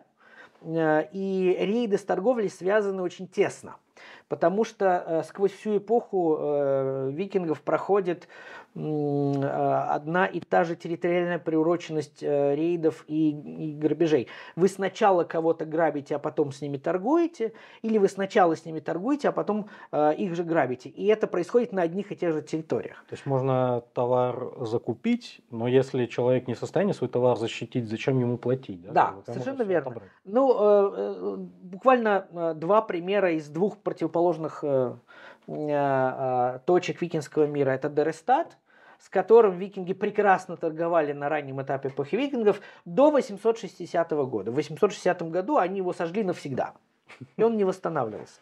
Почему а, так? Да. Второй, э, значит, э, пример – это э, Аран. Это территория, которая сейчас находится на территории Азербайджана. Тогда это была одна из провинций халифата, которая называлась провинция Аран или Кавказская Албания. Ее городом был город Барда, который, э, развалины которого сейчас э, значит, э, а, существуют до сих пор. В районе 943-44 годов Аран, который до этого был одной из зон транзитной торговли русов, которые спускались по Волге в Каспийское море, с халифатом, то есть через Аран, через Южный Прикаспий. Э, дальше шли сухопутные пути на Багдад, которые русы посещали еще с середины IX века и, и позднее. Так вот, э, значит, в Аране, в городе Барда, русы совершили набег, абсолютно викинский рейд. У нас есть о нем свидетельство из современных источников второй половины X века. Угу. Э, значит, э, разрушили так сказать, э, всю городскую структуру, укрепились в цитадели, и все бы шло хорошо, если бы там э, не началась эпидемия, э, инфекция и большая часть э, значит, э, ограбивших э, э, этот город русов не... Поели неспелых фруктов? Ну да, там значит, пишут, что большая часть умерла от, от болезни, а все, кто остались, ретировались на своих значит, судах, софинах, в, обратно к себе туда. Если бы этот проект удался, то Э, один из э, участков русского государства был бы в Закавказье. Да? Угу. Вот э, это был бы, ну, Эмират не Эмират, но это точно был бы, значит, какой-то отдаленный форпост, типа там Тмутаракани на, на, на Тамане, или там вот тоже история конца X века, когда в состав русского государства мог быть включен сам Херсонес, да, mm то есть вот в Крыму. Э, главный э, город Византии э, значит, в Крыму. То есть в действительности территории, которые русы грабили, с которыми торговали, это одни и те же территории. Значит, модус торговли, это модус номер два, это самый важный модус с точки зрения того, какой импульс он дал викинским обществам эм, для внутреннего развития. И э, третий модус э, э эпохи викингов – это наемничество. Мы э, хорошо его прослеживаем для X, XI и даже для XII века. Причем э, территорий, э, на которых э, викинги, русы устраивались в наемники, также полностью совпадают э, с территориями их торговых э, интересов.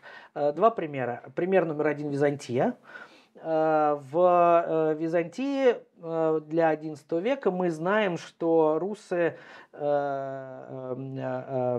наемниками в личной гвардии византийских императоров.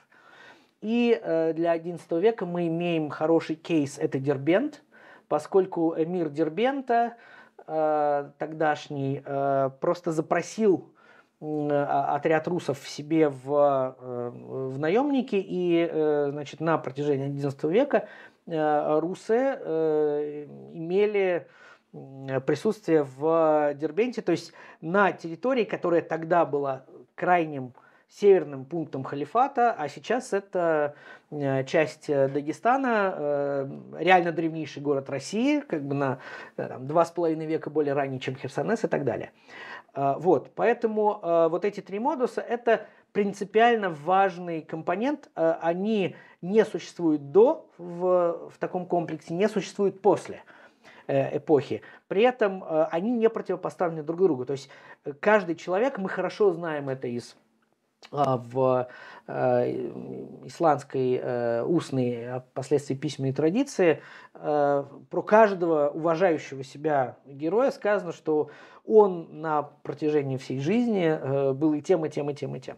И только в, значит, в финальной стадии жизни нужно было образумиться, значит, эм, остепениться и дальше стать либо фермером, либо ремесленником, либо одновременно. То есть вот это три викинских модуса э, и два э, оседлых в сумме дают нам вот этот вот образ э, собирательный, очень сложный, очень реальный, очень э, естественный э, викинского образа жизни. И э, все эти э, модели, э, они для Восточной Европы, для будущей Древней Руси и для сложившейся Древней Руси X, XI, XII века актуальны.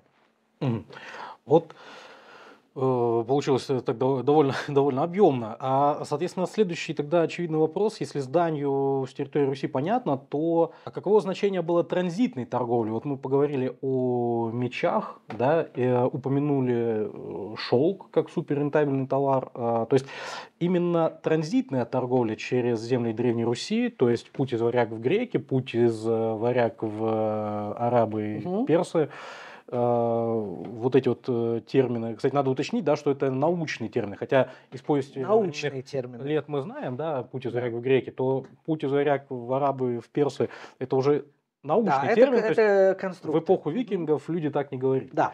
Значит, э, как и не говорили Киевская Русь или, говорили или эпоха Русь. викингов тоже не говорили. Как бы. не говорили. Это история, историографический, в первую очередь, термины, просто да. так упомянем. Как да, но ну, э, когда мы э, говорим о прошлом, мы, мы же говорим э, такими вот... Э, э, констатациями. И для этих констатаций нам нужны какие-то термины крупные, которые будут означать ну, крупные периоды, крупные события, крупные процессы.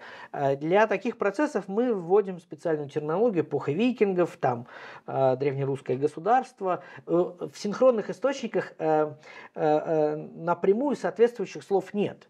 Но э, поскольку история наука, которая, задача которой э, реконструировать прошлую реальность э, максимально приближенно к тому, как она была на самом деле, э, и на самом деле это единственная задача историка, это э, рассказывать о том, что было в прошлом. Причем основываясь на всей сумме источников и опираясь на самые лучшие э, теоретические модели. Поэтому вот эпоха, путь и так далее, это все наше моделирование. Э, почему оно э, э, важно? Потому что мы описываем прошлое так, чтобы мы его сами поняли. Если мы будем описывать прошлое тупо цитатами из источников, то общая картина не сложится, потому что цитаты источников все равно фрагменты. Они, они, они были фрагментами даже тогда, когда их фиксировали. Вот, э, непрерывность исторического процесса – это то, что мы должны дать почувствовать слушателю, читателю, зрителю и то так есть, далее. как говорится, о терминах не спорят, о терминах договариваются. О терминах договариваются. Понятийный аппарат да, но для понимания сути Мы всегда можем уточнить, улучшить, апдейтить, пропатчить. Вот задача историка э, э, прогресс в этом, в этом смысле, да, то есть добиваться как можно более полного, лучшего, глубокого понимания. Так вот, а, транзитная торговля. Транзит, транзитная торговля. Тоже термин как бы не очень средневековый, прям скажем. Значит, э, э, чем э, хороша транзитная торговля, которая разворачивается на территории между крупными центрами глобальной торговой сети? Тем, что если у вас есть территория, которая, грубо говоря, не развита, то прохождение через нее а, глобальных торговых маршрутов а, поднимает ее инфраструктурно. То есть возникают торговые точки, хабы, а, вся, все компоненты инфраструктуры, которые нужны для поддержания этой, этой системы временные стоянки, постоянные стоянки, городские поселения, э, протогородские поселения, крупные города, э, рынки. Мы хорошо знаем, например, как выглядел э, населенный пункт, который носил характер постоянного места жительства русов Волжской Булгарии. Потому что он был хабом ключевым хабом на э, отрезке торгового пути между Средней Азией и Северной Европой и Восточной Европой. Э, мы знаем это благодаря э, книге э, на арабском языке, которая называется «Книга Ахмада ибн Фадлана». Она была написана в середине 920-х годов. Э, автор ее реально видел, как происходило летом 922 года торговля русов с булгарами на, на Волге э, в нескольких километрах э, от э, тогдашней ставки правителя Волжской Булгарии. Э, значит, Ибн Фадлан пишет, что э, на берегу Волги, он называет его тюркским словом «атил», то же самое слово, которое, скажем, современные значит, башкиры называют «идел», «идель». Это связано с словом «итиль»? Да, это одно и то же слово. Итиль это столица это Хазарского столица Хазарской, Хазарского каганата называлась Волга. Угу. То есть, ну, как бы мы называем эту реку Волгой, э, они называли ее э, Атил, э, значит, соответственно, э, э, город Волга на реке Волге. Это ровно та же модель, что город Москва на, на, на Москве, там. Да, довольно типичный. А, совершенно, да. Значит, и э, Ибн Фадлан пишет, что вот возника э, русы значит, высаживаются на берегу, э, у них там есть пристань, там есть слово, да, которое значит, ну, значит пристань. Пристань это инфраструктурный компонент. Дальше пишет э, Ибн Фадлан, у них там есть дома из бревен, в которых они живут. Там, говорит дальше Ибн Фадлан, есть длинные дома, в которых они живут вместе со своим... Прям длинные дома в Волжской Большие дома. Да, он, он пишет большой дом, как это интерпретировать не ясно, ну большой. Э, ну, мы знаем по археологии, что большие дома, э, значит, в скандинавской культуре это обязательно длинные, длинные дома, вот то, что называется длинный дом. Э, значит, в котором, продолжает Минфадлан, они живут вместе со всем, что привезли, со всеми своими рабами и рабынями. Значит, чтобы значит, заселить всех рабов и рабынь в одно место маленькой клетухой 2 на 3 не обойдешься. Да? Значит, как раз в длинных домах и жили, да, с да. скотиной, с рабами. Да, да, совершенно верно. Дальше пишет Ибн Фадлан, у них там есть святилище, на которое они приходят для того, чтобы их торговля шла бойче. Значит, что мы видим? Пристань, поселение с каким-то количеством постоянных домов, святилище. Дальше Ибн Фадлан описывает процесс Э, который он видел сам, процесс э, погребения э, незадолго до этого умершего знатного руса, угу. который он описывает в мельчайших деталях, благодаря чему мы знаем всю структуру вот этого вот обряда сожжения в ладье. Потому что Там много ярких моментов да. с изнасилованием. Совершенно верно. Да. Читайте книгу Ибн Фадлана, чтобы понять, что происходило Ярчайшее представление. в 920-е годы. Так вот, а, значит, получается, что у нас есть пристань, дома, святилище и могильник. Ибн Фадлан не пишет, что это город русов на Волге. Он так не пишет. Но ровно такая структура поселений у нас есть во всех крупных хабах, э, где э, русы селились э, долговременно. Это есть в Ладоге, это есть в Гнездово, это есть в Киеве, это есть Шестовица под Черниговым. В общем, таких мест э, в Восточной Европе уже несколько десятков. То есть это тот самый Борг, он же Гард. Он же, да, да, да, вполне, да, так сказать, Борг крепость, э, Гард любое укрепление.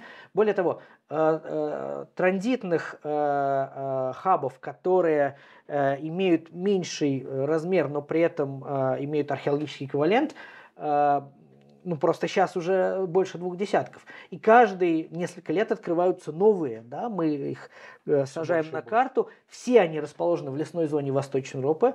То есть это все лес, лесная зона, это все бассейн э, Волхова. Вдоль рек. Вдоль рек. Вне рек их нет. Обязательно должна быть либо река, либо какое-то озеро, которое входит в речную систему.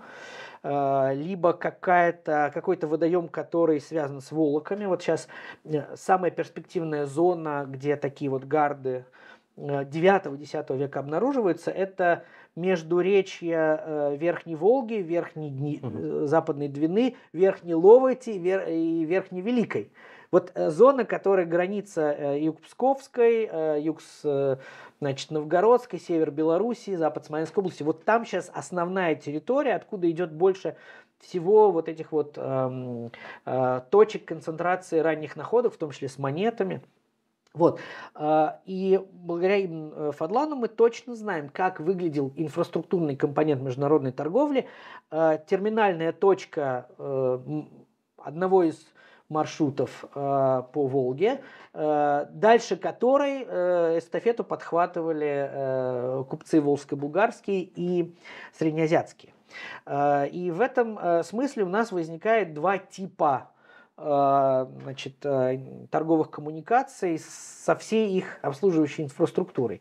Это магистральные пути, да, как, которые э, значит, полностью оперируются русами от начала до конца.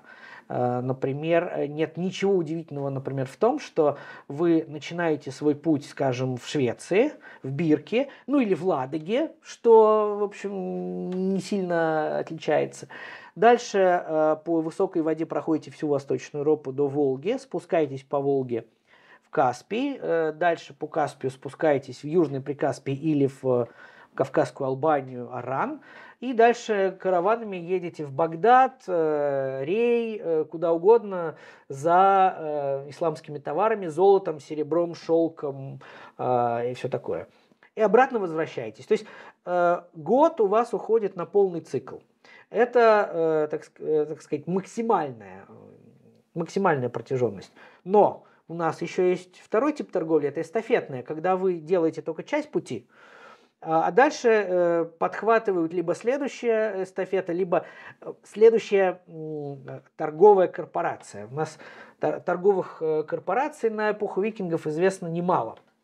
То есть помимо русов это еще были евреи, в Средней Азии это были сагдийцы, в э, значит, э, более позднее время, э, уже в позднем Средневековье, аналогичную роль играли армяне, еще в более позднее время индийцы. У нас 17, 18, 19 век индийцы оперировали торговлю Московии с Ираном, индийская диаспора в Астрахани и так далее, и так далее. То есть быть членом торговой корпорации по этноязыковому признаку, это было тоже нормой. Так вот, система э, эстафетной торговли, она э, предполагала, что у вас есть э, естественное распределение ролей. И вот те торговые хабы, которые были встречей разных эстафет, они тоже играли колоссальную роль. И как торговые центры, как городские центры, как центры Э, государственного процесса, политогенеза. Э, мы знаем по Восточной Европе, что крупнейшими такими хабами вне э, значит, Древней Руси были Булгар, Волжской Булгарии, то есть будущая столица отдельного государства, которое просуществовало до Золотой Орды, Итиль, Э, и соперничество русов с Итилем э, э, в конечном счете значит, закончилось поражением Хазари от Святослава. Саркел на Дону, Керчь, который был одновременно зоной контакта Византии, Хазарии и многочисленной международной еврейской диаспоры купцов-путешественников. А, значит, а, естественно, Херсонес. То есть мы имеем целый, целую сеть а, таких хабов, каждый из которых является очень важным местом и в древнерусской истории, и в истории тех государств, с которыми русы в эпоху викингов плотно контактировали. И, значит, возникновение, например, замечательного эксклава Руси на Тамане, которая называется эм, э, Тьмутараканское княжество или по-гречески Таматарха. Э, Таматарха, Матраха, э, город, в котором э, жили э, греки, хазары, э, адыги, э, евреи, да, э, который был э, ключевым пунктом э, э, международной, в том числе э, меховой работорговли в Черном море, э, в какой-то момент во второй, э, значит, э, в первой половине XI века стал русским княжеством.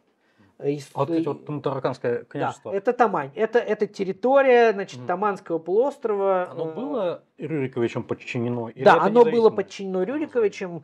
Оно было подчинено Рюриковичем. Оно представляло собой а, владение князя Михаила Черниговского, а после его смерти в 1036 году, читать, э, слушатели меня поправить, если я ошибся в дате, э, оно э, досталось в, в, в наследственное владение его сыновьям. И существовало оно вплоть до последней четверти XI века, как эксклав, Рюриковичей за пределами основной территории Древней Руси. При этом, кроме, собственно, князя и его дружины, э, никаких других русов там не было. Город не говорил по-древнерусски.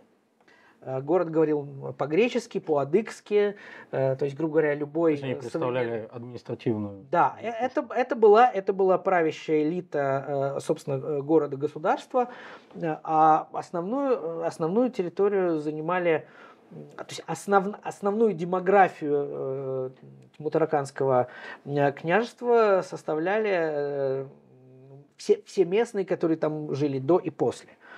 А, в этом смысле э, очень важный э, факт заключается в том, что э, изначально по своему по характеру своего возникновения и создания Древняя Русь была полиэтничной, поли многонациональной, федеративно-конфедеративной структурой, в которой существование ее компонентов обеспечивалось политическим подчинением, э, и только с течением весьма длительного времени выработался единый язык, э, язык древнерусской элиты, вот тот самый славянский язык, который потом стал Э, называться древнерусским и стал э, праязыком для э, всего, всех восточных славян. Буд, то есть это будущий украинский, будущий белорусский, будущие русские диалекты и так далее.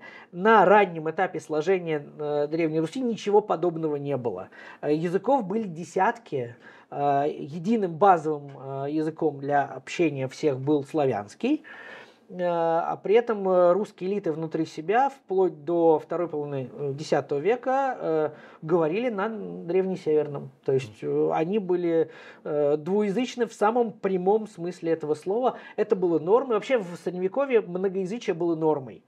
Одноязычие – это завоевание нового времени национального государства. В эпоху Средневековья каждый, так сказать, практически каждый средневековый человек э, в той или иной форме владел многими языками. А для купеческих корпораций владение многими языками было обязательной необходимостью. То есть просто жизненной необходимостью. Поэтому мы знаем, э, что, э, скажем, купцы могли изъясняться на ну, до десятка языков. Ну, у нас есть просто прямые, так сказать, прямые указания на это. Вот был такой замечательный э, купец 15 э, века, сведения о котором дошли до нас в его собственной автобиографическом тексте Афанасий Тверетин. Афанасий Никитич Тверетин. Значит, он вполне изъяснялся по-персидски и по-тюркски. Мы просто знаем это из его текста, поскольку те слова и выражения, которые он записывал, свидетельствуют о том, что он сам их произносил и хорошо э, понимал, что это значит. Вот. Э, и это не единичный случай. Норма заключается в том, что если вы э, э, значит, э, принадлежите к многоязычному обществу, то вы говорите на многих языках. Вообще вот довольно интересно. Э, скажем, э, английская элита после нормандского завоевания довольно долго говорила... Исключительно по-нормандски. Исключительно по-нормандски. Более Да, того, более в 400 лет. 13-14 веке эм, была, шла речь о вызывании английского языка. То есть э, мы Во могли времена вполне бы... Столетней войны продолжала Совершенно верно. английская элита общаться на французском. Да. вот, Большая часть языков Европы, э, которые не имели своей прочной письменности и государственности, сохранилась случайно. Мгм. То есть э, есть языки, которые просто не должны были э, э, находились э, в- на, в- на волоске от э, финального языкового сдвига. Мы э, имеем э, чисто случайно выживание английского языка в среднеанглийский период. Мгм. Мы чисто случайно... То есть, может быть, вся Британия могла сейчас говорить на французском. да, конечно. Совершенно. То есть она и должна была говорить на французском, если бы все шло, как, как оно должно было. Если бы шло как шло. Да, а, э, значит, э, на волоске от финального языкового сдвига находились э, такие языки, как литовский, латышский, эстонский, В пользу чего? э, в пользу, соответственно, польского и немецкого. Э, значит, польского, русского и немецкого, да, то есть э, э, сами литовцы первой половины 19 века писали, что э, у них большие значит, э, сомнения в том, что литовский вообще сохранится, потому что элиты говорят по-польски, а простое население настолько русифицировано, что еще чуть-чуть, и это будет, э, даже в деревнях будут говорить по-русски. То есть языковой сдвиг это тоже э, история глобальная, оно, оно шел, он шел всегда. Э, и э, именно поэтому, вот когда мы говорим о такой большой, бо- длительном времени, мы говорим, что вот э, этот язык сохранился благодаря таким-то, таким-то факторам. Э, Факторы сохранения языков – это письменность, литература, политика. Если язык э, является государственным для какой-то политии, то он, э, скорее всего, сохранится. Если он является языком только народа и податного населения, то длительное э, сосуществование языка элиты и языка простого населения обязательно приведет к тому, что победит кто-то один из них. Причем э, в истории у нас есть э, как образцы того, что податное население теряет свой язык, так и об- обратные случаи. В, Древней Руси нормой было то, что местные языки, практически все языки Восточной Европы, которые э, попали в границы э, русской политии, к XVI веку э, исчезли. Э, То есть все языки, там 30 языков, на, котором, на которых говорили в 9, 10, 11 веке, к XVI веку не сохранились. А, Но, э, значит, в истории большинства стран Европы языковой сдвиг зафиксирован э, в разной степени полноты, да, и поэтому, э, значит, э, когда он происходит, э, есть, соответственно, фазы, да, то на каждом его этапе многоязычие – это реальность. Потому что вы, для того, э, чтобы забыть родной язык, вы должны сначала выучить тот язык, на который вы переходите. И какое-то количество поколений они будут существовать, э, обладая разными функциями. То вот такая В данном история. случае у нас получилось, что у нас славянизировались Да, а, славянизировалась князья да, династия Рюриковича, для Да. которых исходным языком, вероятнее всего, были скандинавские. скандинавский. э, э, их эм, э, э, э, принятие ими славянского языка состоялось на раннем этапе эпохи викингов. На раннем и среднем э, э, этапе эпохи викингов они были полностью двуязычны. Э, И э, для 11-12 веков, по-видимому, э, только э, славяноязычные. Хотя до середины 12 века э, стабильные связи, династийные связи с, со Скандинавией указывают на то, что по древнесеверному они продолжали говорить, вот, скажем, новгородский кня- князь Мстислав, который значит, имел скандинавское имя Харальд, он, скорее всего, дома говорил со своей женой на древнешведском. При том, что он... Это э, Мстислав, э, который э, сын... Мстислав Всеволодович. А, все, Да. Мстислав Всеволодович. Который Мстислав Великий. Или не он? Я что-то путаю. Нет, Мстислав Всеволодович. Всеволодович, все понятно. Новгородский князь, э, мгм. который э, э, в середине XII века э, реализовал программу храмового строительства по, в Поволховье, в Ладоге э, и на Рюриковом городище. Понятно. Собственно, затронули вы тему эстафетной торговли, и я об этом как раз хотел спросить. А вообще соотношение транзитной и эстафетной торговли, э, во-первых, каково, а во-вторых, как это было чисто технически организовано?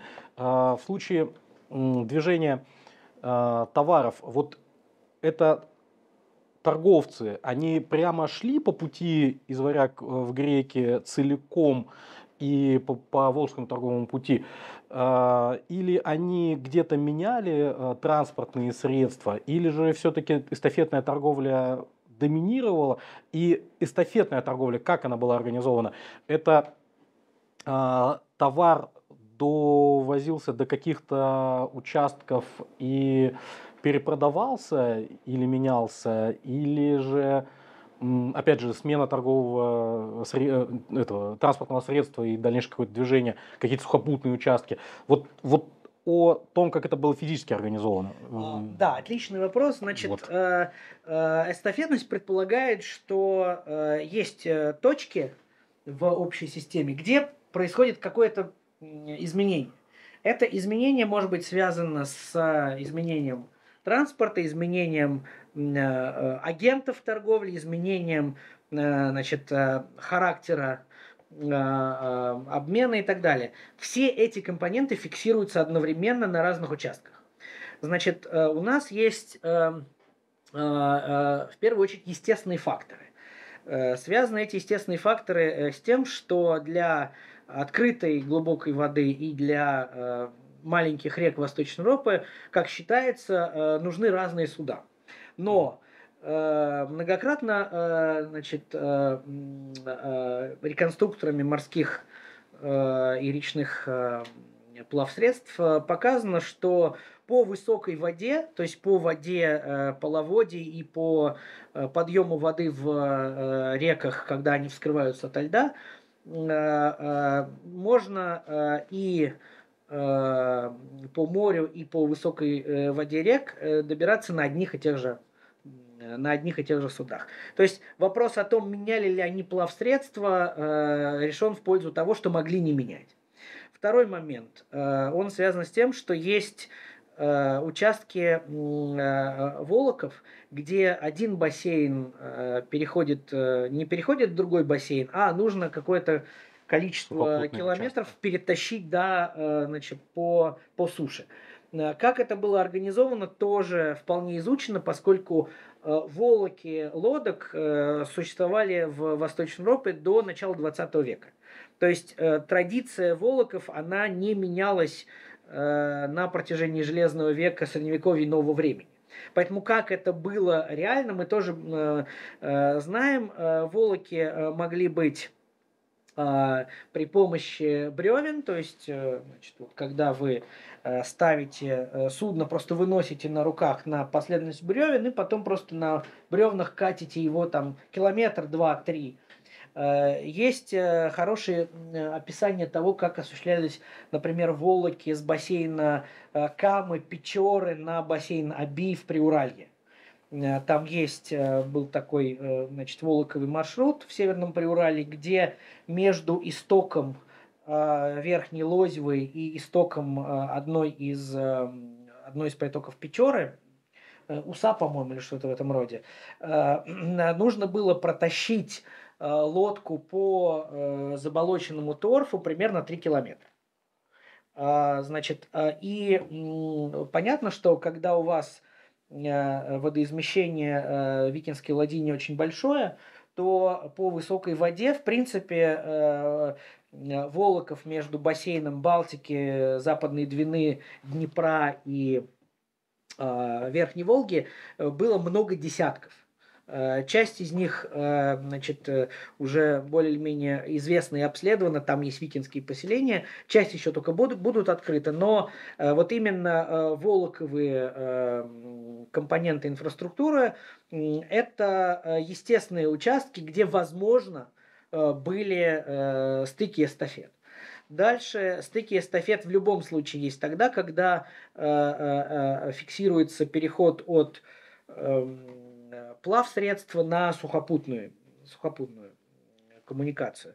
Э, это имелось э, в Волжской Булгарии, которая была территориальным стыком Волжского бассейна и сухопутных путей напрямую в Хорезм. Как это было хорошо известно из X века, и очень хорошо, и хорошие записи 18-19 веков, как Значит, э, шли эти караваны по Мангышлаку, по э, Устюрту, по э, значит, вот этим самым полупустыням, Солончакам и так далее, между рекой Урал-Яик и там Мударивой.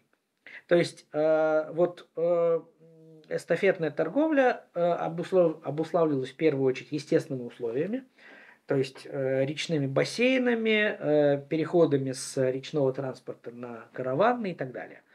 Э, во вторую очередь она обуславливалась э, уже существовавшими на тот момент торговыми сетями коммуникаций вокруг крупных городов того времени. Ну как крупных? Любой город Средней Азии и Восточной Европы по нынешним меркам был небольшим. Э, мегаполисами, или как их можно назвать, мегалополисами, были только такие города, как Константинополь, Багдад, э, Бухара, безусловно, была мегаполисом того времени. Э, но к северу от этой линии крупных торговых и вообще городских поселений было не так много, они были реально единичны. Поэтому уже существующие города были естественными пунктами, где вот эти эстафеты соединялись. И третий э, компонент э, значит, э, инфраструктуры эстафет – это, э, собственно, купеческие корпорации. Вот те самые акторы торговли, которые одновременно были э, значит, физической силой, э, благодаря кому товары э, дальнемагистральные переходили из одного участка эстафеты в другой. Э, русы были, безусловно, актором.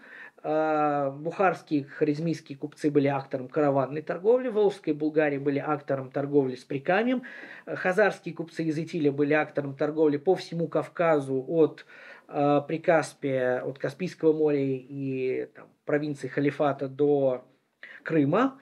Э, ну и, конечно, византийские купцы, куда же без них они тоже были. Короче, на каждом участке э, мировой торговли были свои э, агенты, которые это все осуществляли. Причем э, вот та модель, о которой я говорю, она не зависит от конкретной эпохи. Так было и до, и после.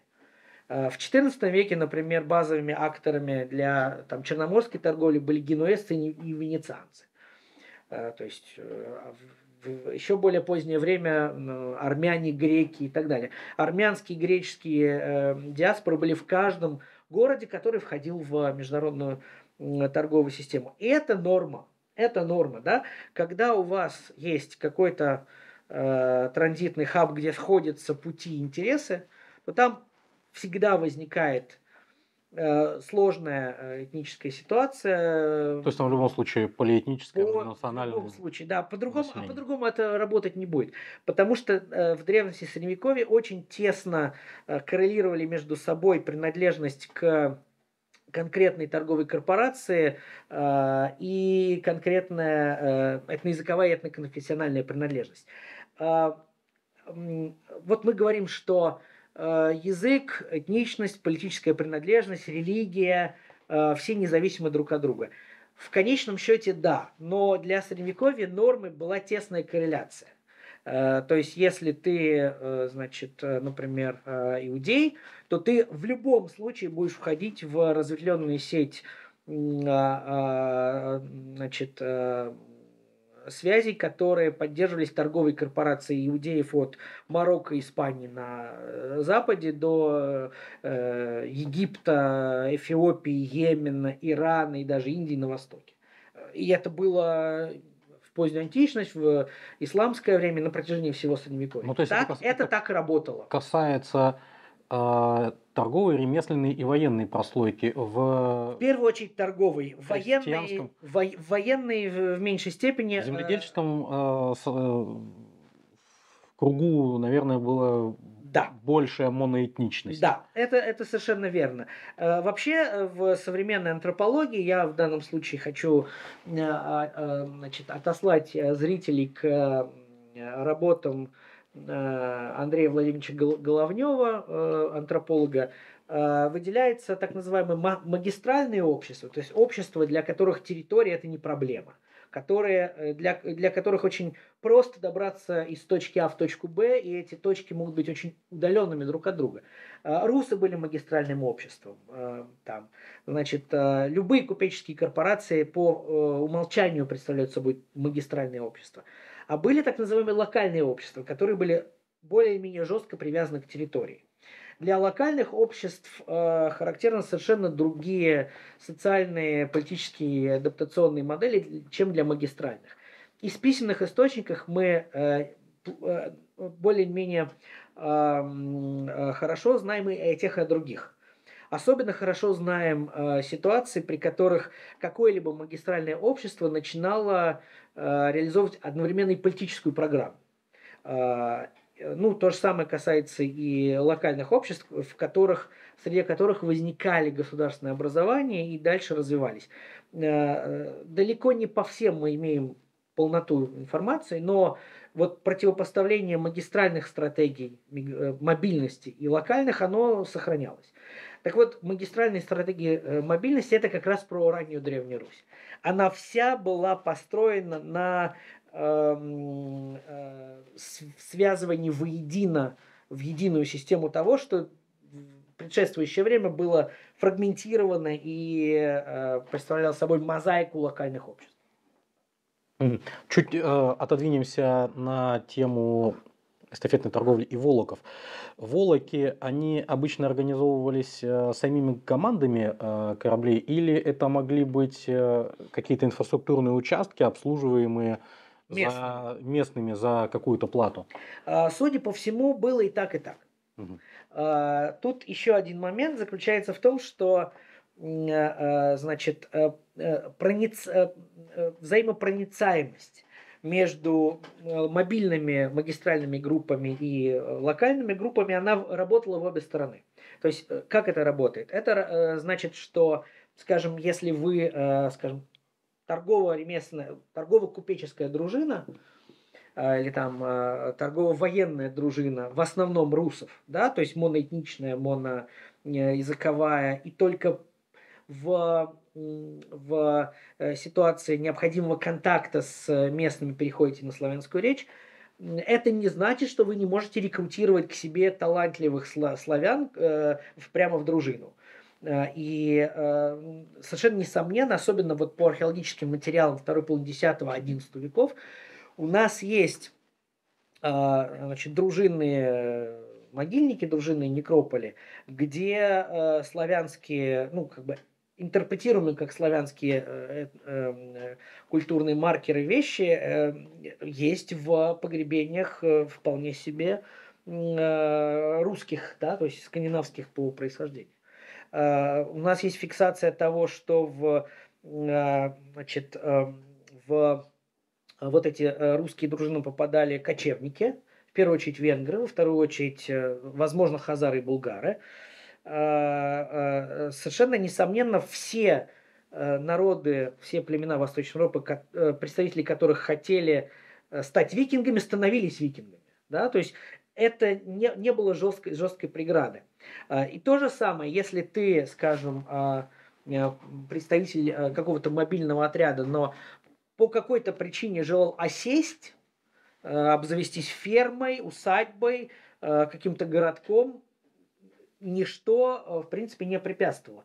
У нас эм, вся инфраструктура ранней эпохи викингов в IX веке в лесной зоне Восточной Европы, судя по всему, функционировала в том числе при помощи э, каких-то русов, которые оседали на э, определенных точках э, вот в этой сетке маршрутов для постоянного обитания. В источнике 9 века арабская анонимная записка так и написано, что а у русов много укрепленных городков, в которых они живут сами. Это предполагает, что они живут там постоянно.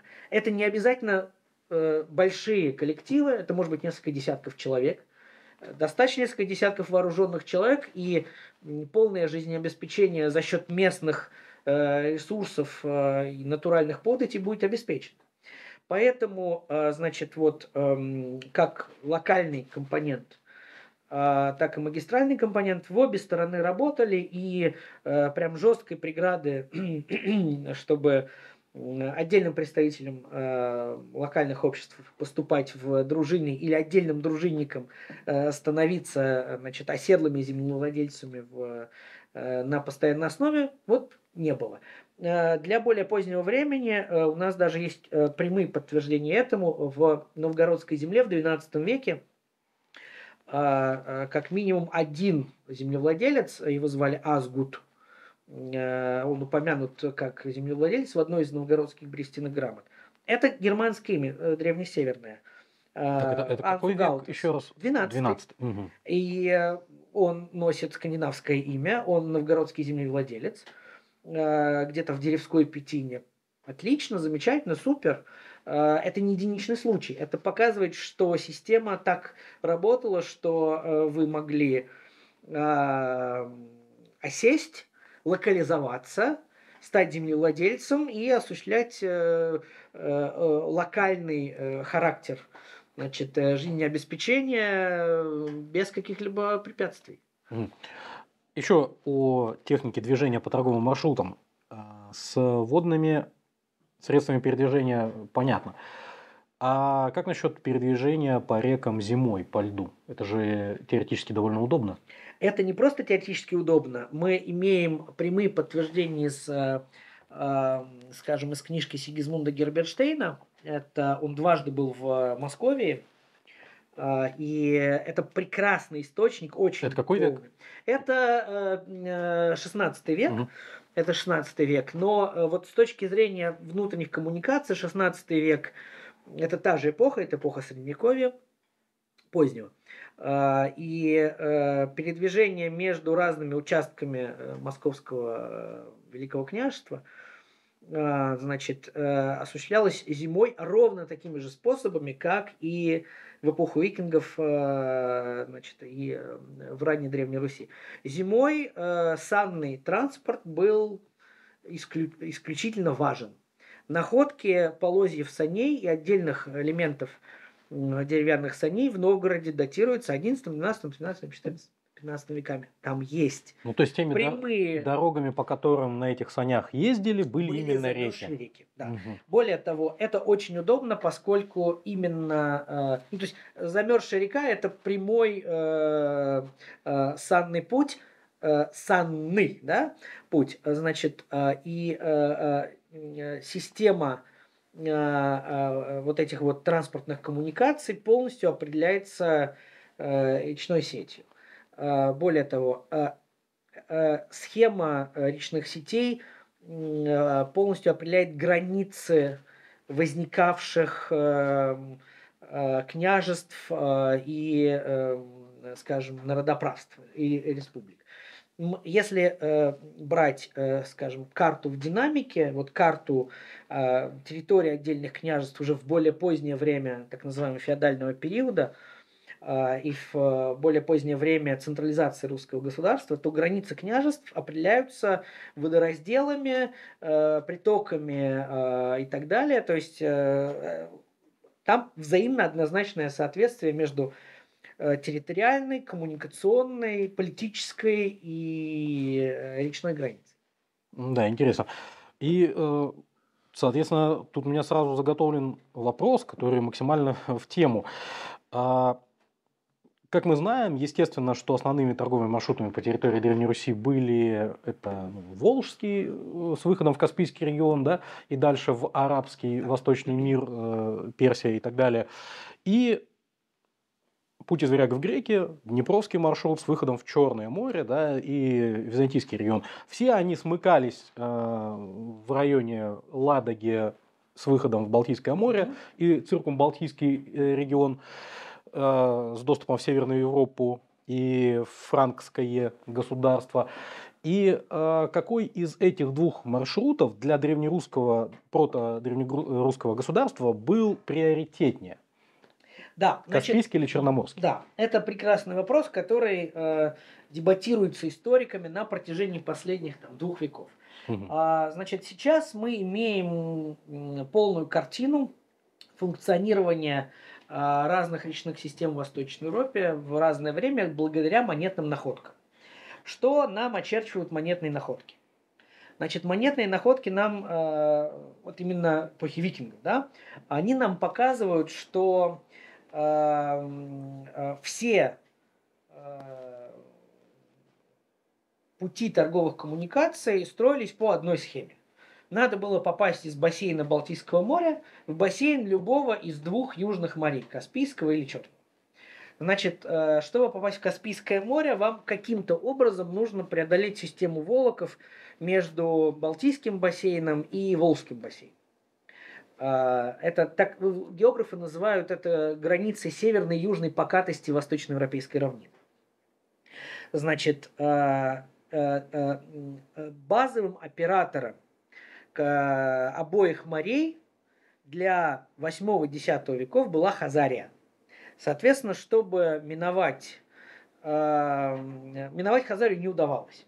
И на ранне э, викинском этапе Хазария была главным э, контрагентом э, русов в торговых операциях с югом.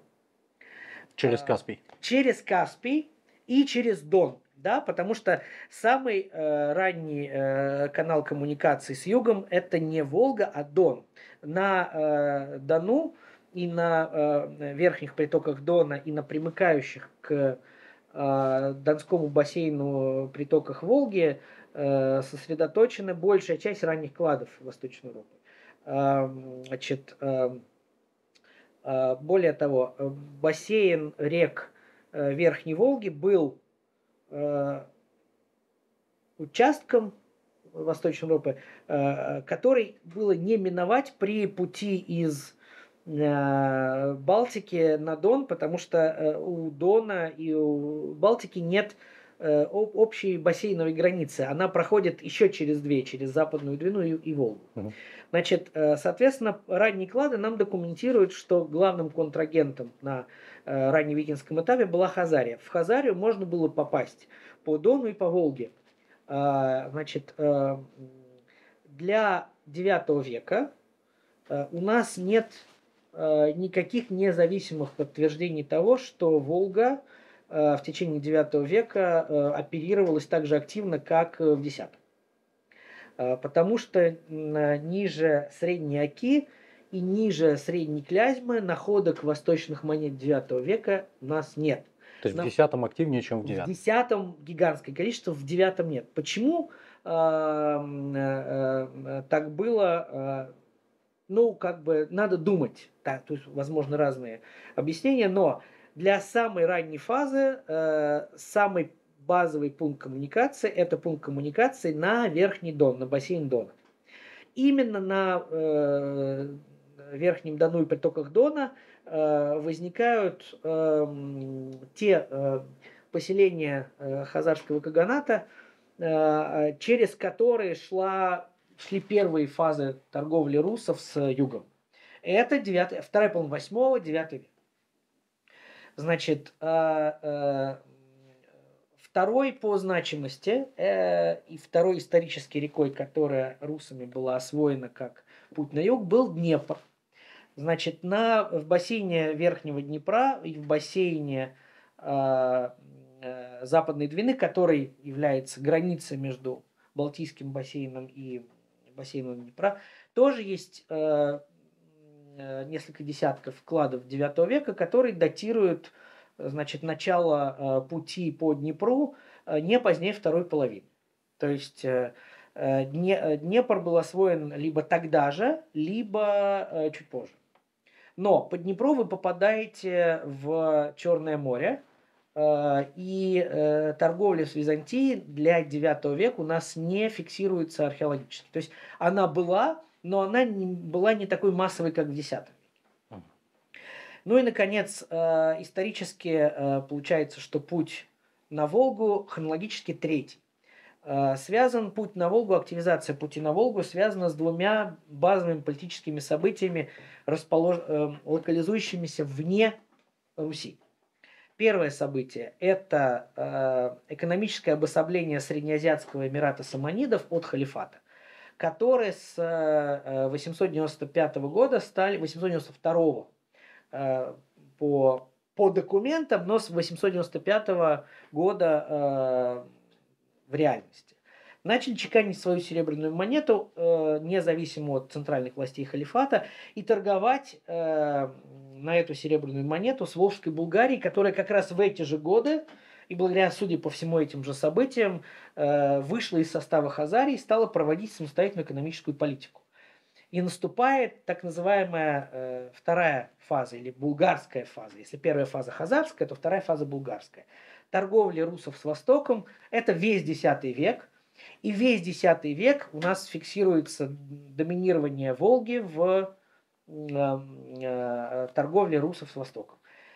Монеты среднеазиатского государства саманидов на рубеже 9-10 века быстро заменяют всю э, более раннюю массу денежного серебра и для X века полностью доминируют. В вкладах первой половины X века монеты Средней Азии составляют 90-96% всего всей массы.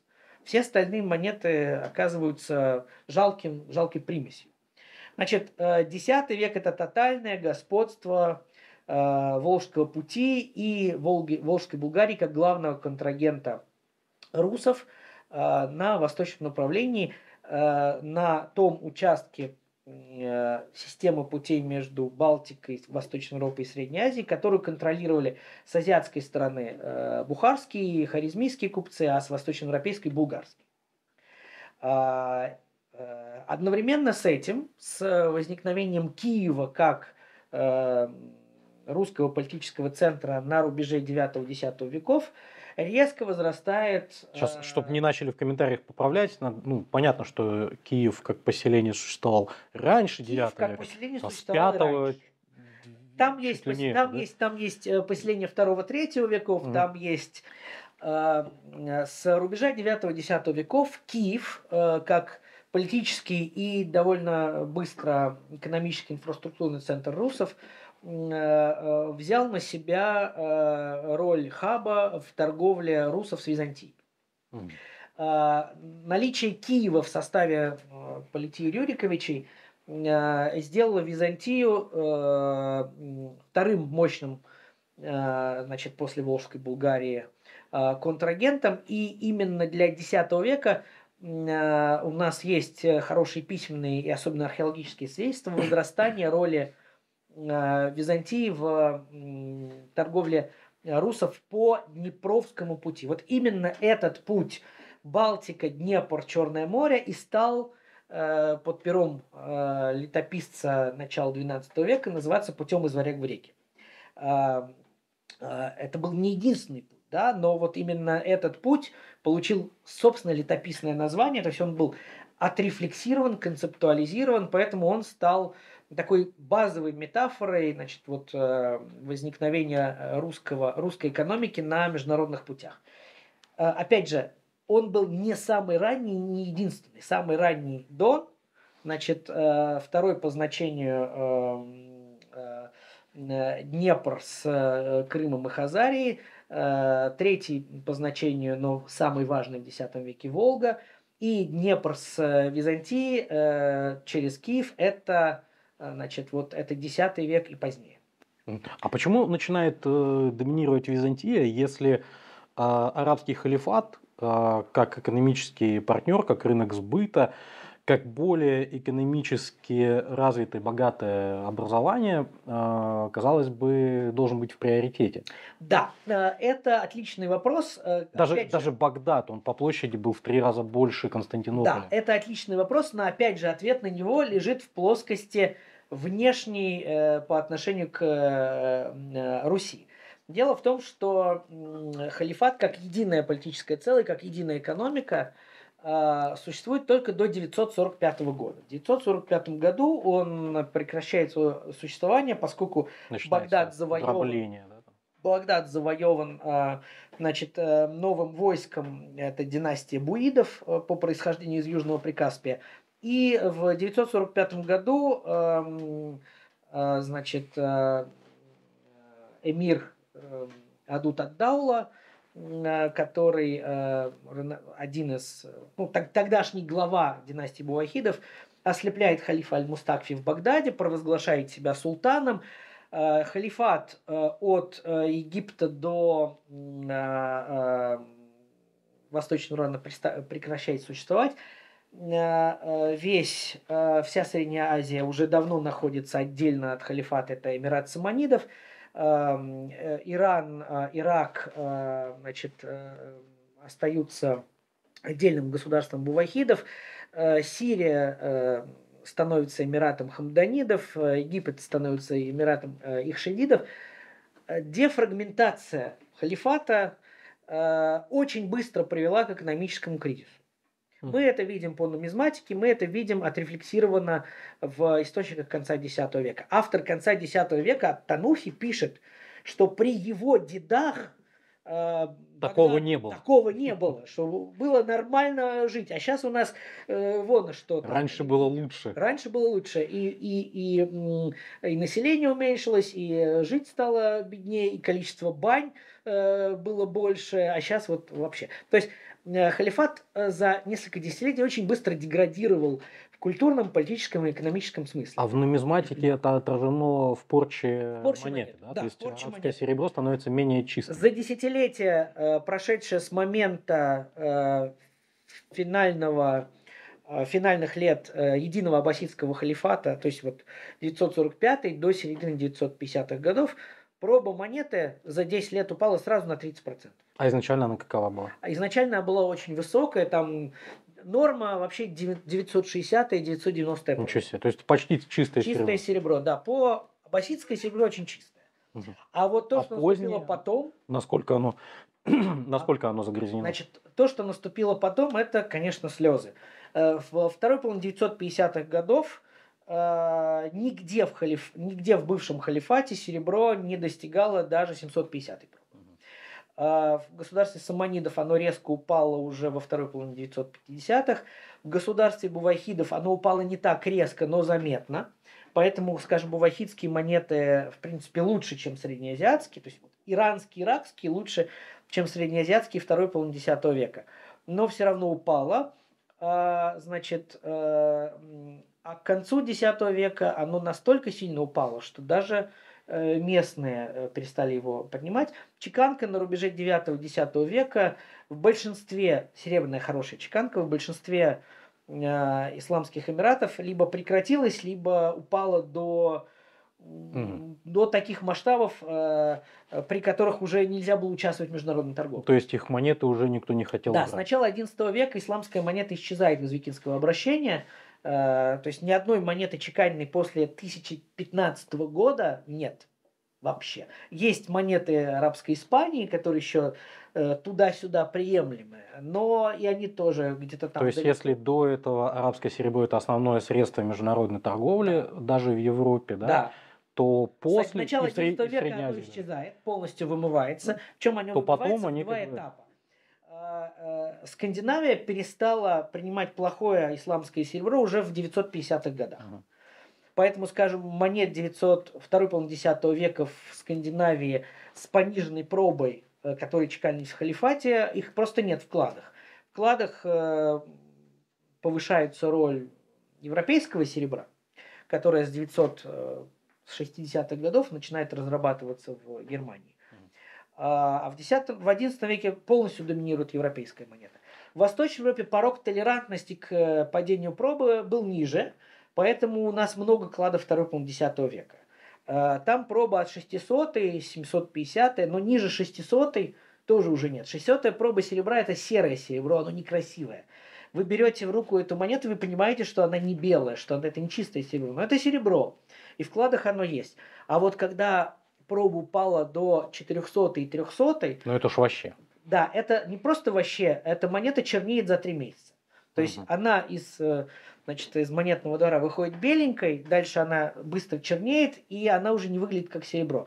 Таких монет в Восточной Европе уже тоже нет, потому что ну, это совсем никуда не годится. Поэтому мы можем проследить как бы, динамику экономического кризиса там, по падению пробы, которая отразилась у нас, которая отразилась в Скандинавии, И таким образом, вторая половина X века – это кризис, жесткий кризис значит, между Скандинавией, Русью и Востоком, который привел к тому, что с начала XI века формы торговли Руси с Востоком переместились из сферы серебра в какую-то другую сферу, которая не обеспечена массовым материалом. То есть там либо весовое серебро, либо весовое золото, либо ткани, но то, что не оставляет археологических следов. Поэтому, скажем, активная фаза русско-восточной торговли на, в самом начале XI века завершается. Но одновременно с этим у нас э, во второй половине X века э, э, объемы чеканки хорошего серебра в Византии увеличиваются. Угу. То есть, чтобы компенсировать э, падение оборотов с Востоком, начинается усиление оборотов с Византией. Оно начинается год в год, десятилетие в десятилетие. Э, я не знаю, случайность это или нет. Я как бы, чтобы сказать, что в истории что-то не случайно, нужно, нужно в источнике найти то есть, скорее всего, указание. это не совпадение, да, возможно. Это, ну, то есть, если это совпадение, то это, если это не, если это чистое совпадение, вот этой 940-е, 950-е пробы, переориентация с э, плохого восточного серебра на хорошее ага. византийское, то я не знаю, что это, кроме чем, кроме как хорошая корреляция. А, э, роль э, византийской монеты, византийского шелка в оборотах с Восточной Европой резко возрастает с правления княгини Ольги. А, неважно, когда оно началось, там, в 45 году, там, 57-м, 47-м. Угу. Вторая половина 40-х, первая половина 50-х годов – это э, резкий, резкий э, ощутимый да, э, э, поворот вектора на Византию. И вторая половина э, X века э, опора на, вос, на, на византийский вектор, нежели на восток. Скорее всего, с этим связано усиление военной напряженности на восточном направлении, поскольку имел место Э, вот этот эпизод с э, попыткой организовать русский эмират за Кавказье. Э, дальше имел место эпизод с завоеванием Хазарии, поскольку Хазария, естественно, не могла остаться в стороне от экономического кризиса на Востоке, она была тесно связана с, с характером обращения между товарного и монетного обращения между Восточной Европой и э, Средней Азии, поэтому экономические проблемы халифата и политические проблемы халифата в течение пары-тройки десятилетий э, поставили крест на Хазарии как независимом государстве, экономике и, так сказать, вообще обществе. А вот с Византией все было, наоборот, отлично. Э, прием э, э, Ольгой христианства в Константинополе сразу поставил ее на ступеньку выше в, с точки зрения политической культуры Византии. С ней стало можно иметь дело. Она превратилась из варварской архантессы в архантессу-христианку. Угу. Дальше за два поколения, значит, то есть ее, получается, внук Владимир пришел к мысли о том, что Э, принятие христианства – это важный политический, экономический, культурный шаг, который должен быть сделан. Э, несмотря на то, что э, сын Ольги Святослав был активным язычником, то есть он сопротивлялся христианизации как мог, он был таким идеологическим язычником, заряженным. Но его сын Владимир тоже был, естественно, язычником, но принятие христианства резко усилило уровень политического и экономического взаимодействия с Византией. То есть для него экономическая мотивация была Одной более из, значительной. Да, безусловно. Нет, в, э, э, вообще христианизация это э, в эпоху Средневековья, когда политика, экономика, культура – это вот тесная связка, э, мы не можем выделить какой-то важный, базовый, э, значит, э, единственный критерий. Критерий всегда пучок. Угу. И, э, естественно, э, в случае с Владимиром, который...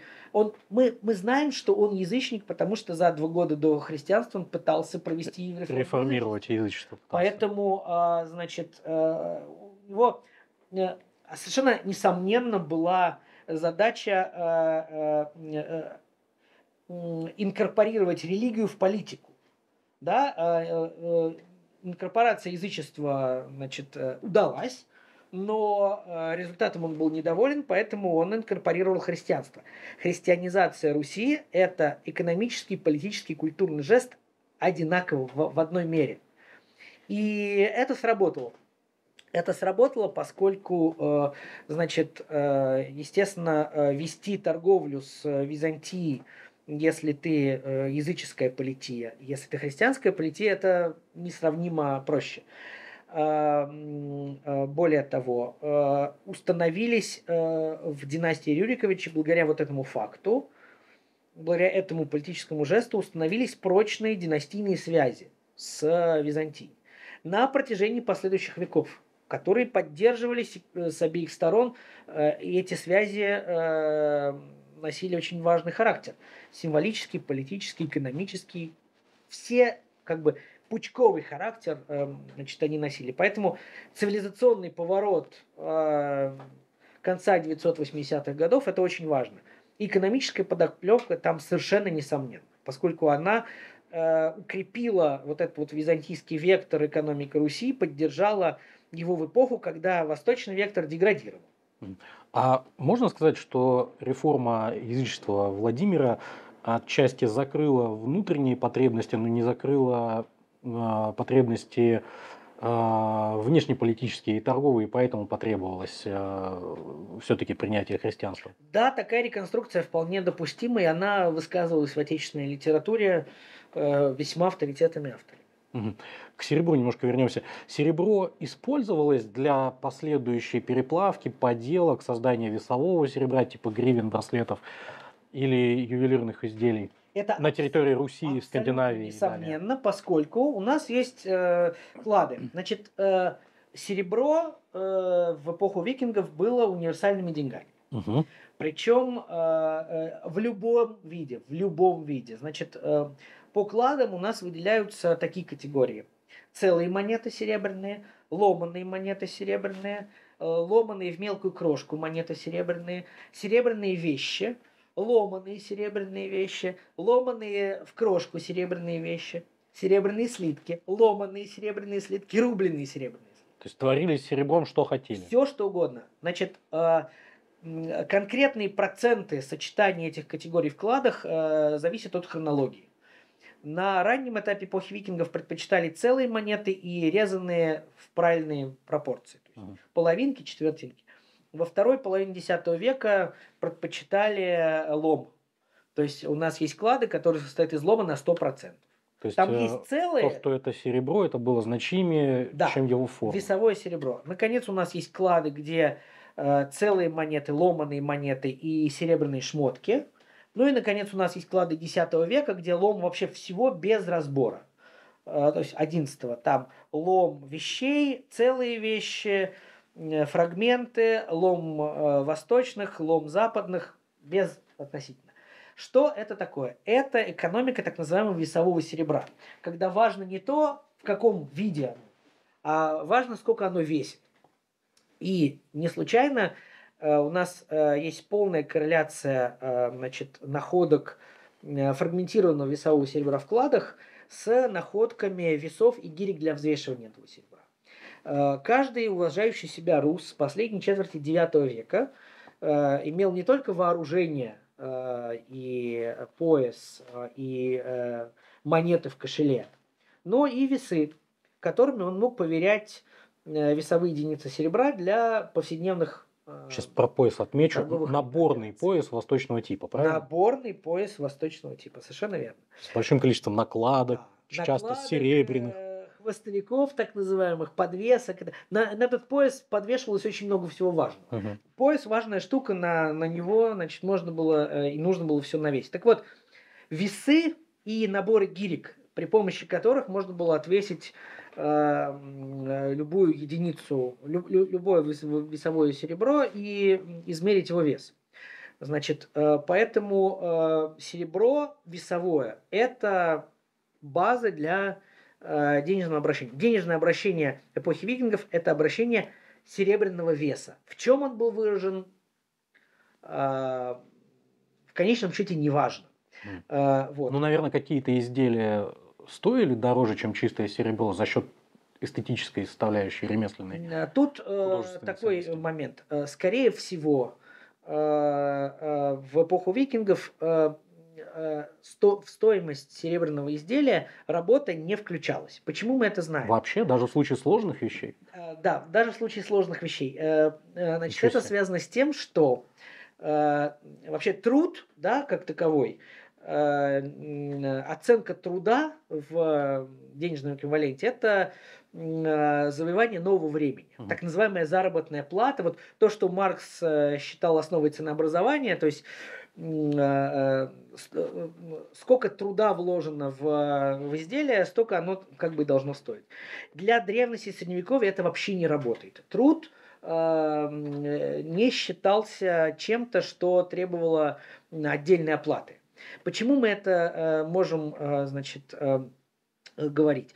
Во-первых, в письменных источниках у нас для всей древности всего Средневековья нет вообще никаких намеков на то, что за труд платили. За труд могли давать дары и подарки, которые не считали зарплатой и которые никак не коррелировали с объемом труда. Но есть гораздо более прямое указание на то, что вещи не стоили дороже, чем серебро при изготовлении вещей э, мастера стремились, не просто стремились, а в большинстве случаев выдерживали весовые стандарты. То есть, грубо говоря, э, вот гривна, скажем, шейная гривна, да, они стремились ее э, изготовить ровно в вес марки серебра. Или mm. половины марки серебра, или двух марок серебра. Интересно. Браслет литой или там, а, скажем, витой, э, если взвесить большое количество таких браслетов, выяснится, что они квантуются. Один браслетик весит э, значит, половину марки серебра. Или на Руси это называлось гривна серебра. Марка значит, на севере, а гривна в восточном. Гривна это Э, славянское обозначение для единой весовой единицы Европы, которая называлась марка. Так вот, э, это... То есть гривны и марка это можно равно поставить? Да, это полностью равно, причем на протяжении всего Средневековья, э, вплоть до XIV века. Когда появляется слово рубль, которое заменяет слово гривна даже вот в, в употреблении. Значит, и в кладах вещи, которые изготовлены вот по весовым стандартам, э, они включаются в вклады весового серебра. То есть, грубо говоря, вот э, у нас есть вклад, в котором половина веса это монеты или рубленые монеты, другая половина веса это э, ну, вещи, которые выглядят как браслеты, но их невозможно надеть, потому что они уже, чем запястье. Это форма обращения весового серебра, которую мы так и называем браслет, по-славянски тоже гривна – в древнерусском языке э, вот это украшение для шеи называли гривной, а вот это украшение для запястья называли либо обруч, либо тоже гривну. Значит, э, и э, они весят ровно столько, все они весят одинаково, ну, скажем, в пол, в пол, в пол гривны. И то, что они в значит, что при обращении их стоимость э, была ровно столько, сколько весит серебро. То есть, грубо говоря, э, работа, которая потребна для того, чтобы изготовить из дрота, скрутить его, проштамповать, значит, э, пунцонами и получить вот такой браслет, носили его или не носили, другой вопрос, но эта работа стоила ноль. Угу.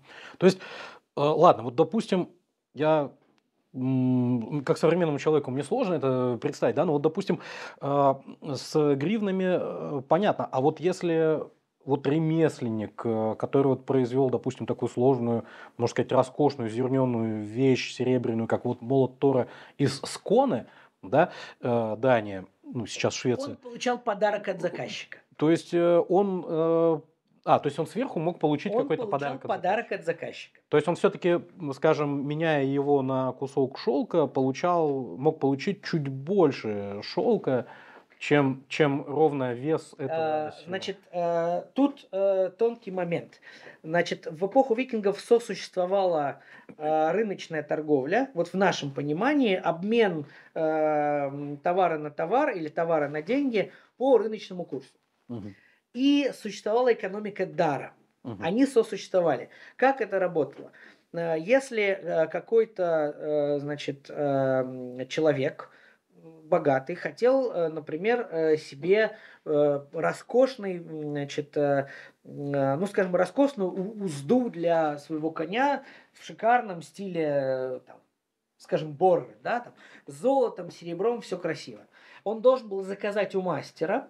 Мастер это делал, Э, значит, э, заказчик должен был снабдить мастера э, необходимым весом серебра или золота, потребным для этой вещи. Дальше эту, эта вещь отдавалась заказчику, и, давач, и заказчик должен был за эту вещь дать подарок мастеру. Поэтому, скажем, вещи высокостатусные, вещи дорогие, которые делались долго, значит, они не массовые. То есть художественный стиль массовый, но вещи делались э, не в промышленных масштабах. Они делались специальными мастерами, ремесленниками, э, значит, э, и заказчик должен был обеспечить сырье и заплатить даром, подарком, любым, значит, по соглашению за эту вещь. Что касается массового ремесленного производства, например, производства костяных гребней, производства бронзовых фибул, массовое, потому что мы имеем археологические следы производства, скажем, женских фибул э, бронзовых в ремесленных, э, торгово-ремесленных кварталах вместе со стеклом, там, обработка янтаря э, и так далее. Значит, их стоимость должна была быть выражена в весовом серебре или, скажем, в отрезном шелке. Вот в Восточной Европе базовым значит, товаром, который русы получали из Византии, был шелк, по-древнерусски поволока. И в поволоках э, считали и стоимость э, и так далее. У нас есть летописный контекст об этом. Так вот, э, стоимость э, массовых предметов э, была рыночной. То есть э, нужно было заплатить за э, фибулу ровно столько, сколько она должна была э, стоить по работе.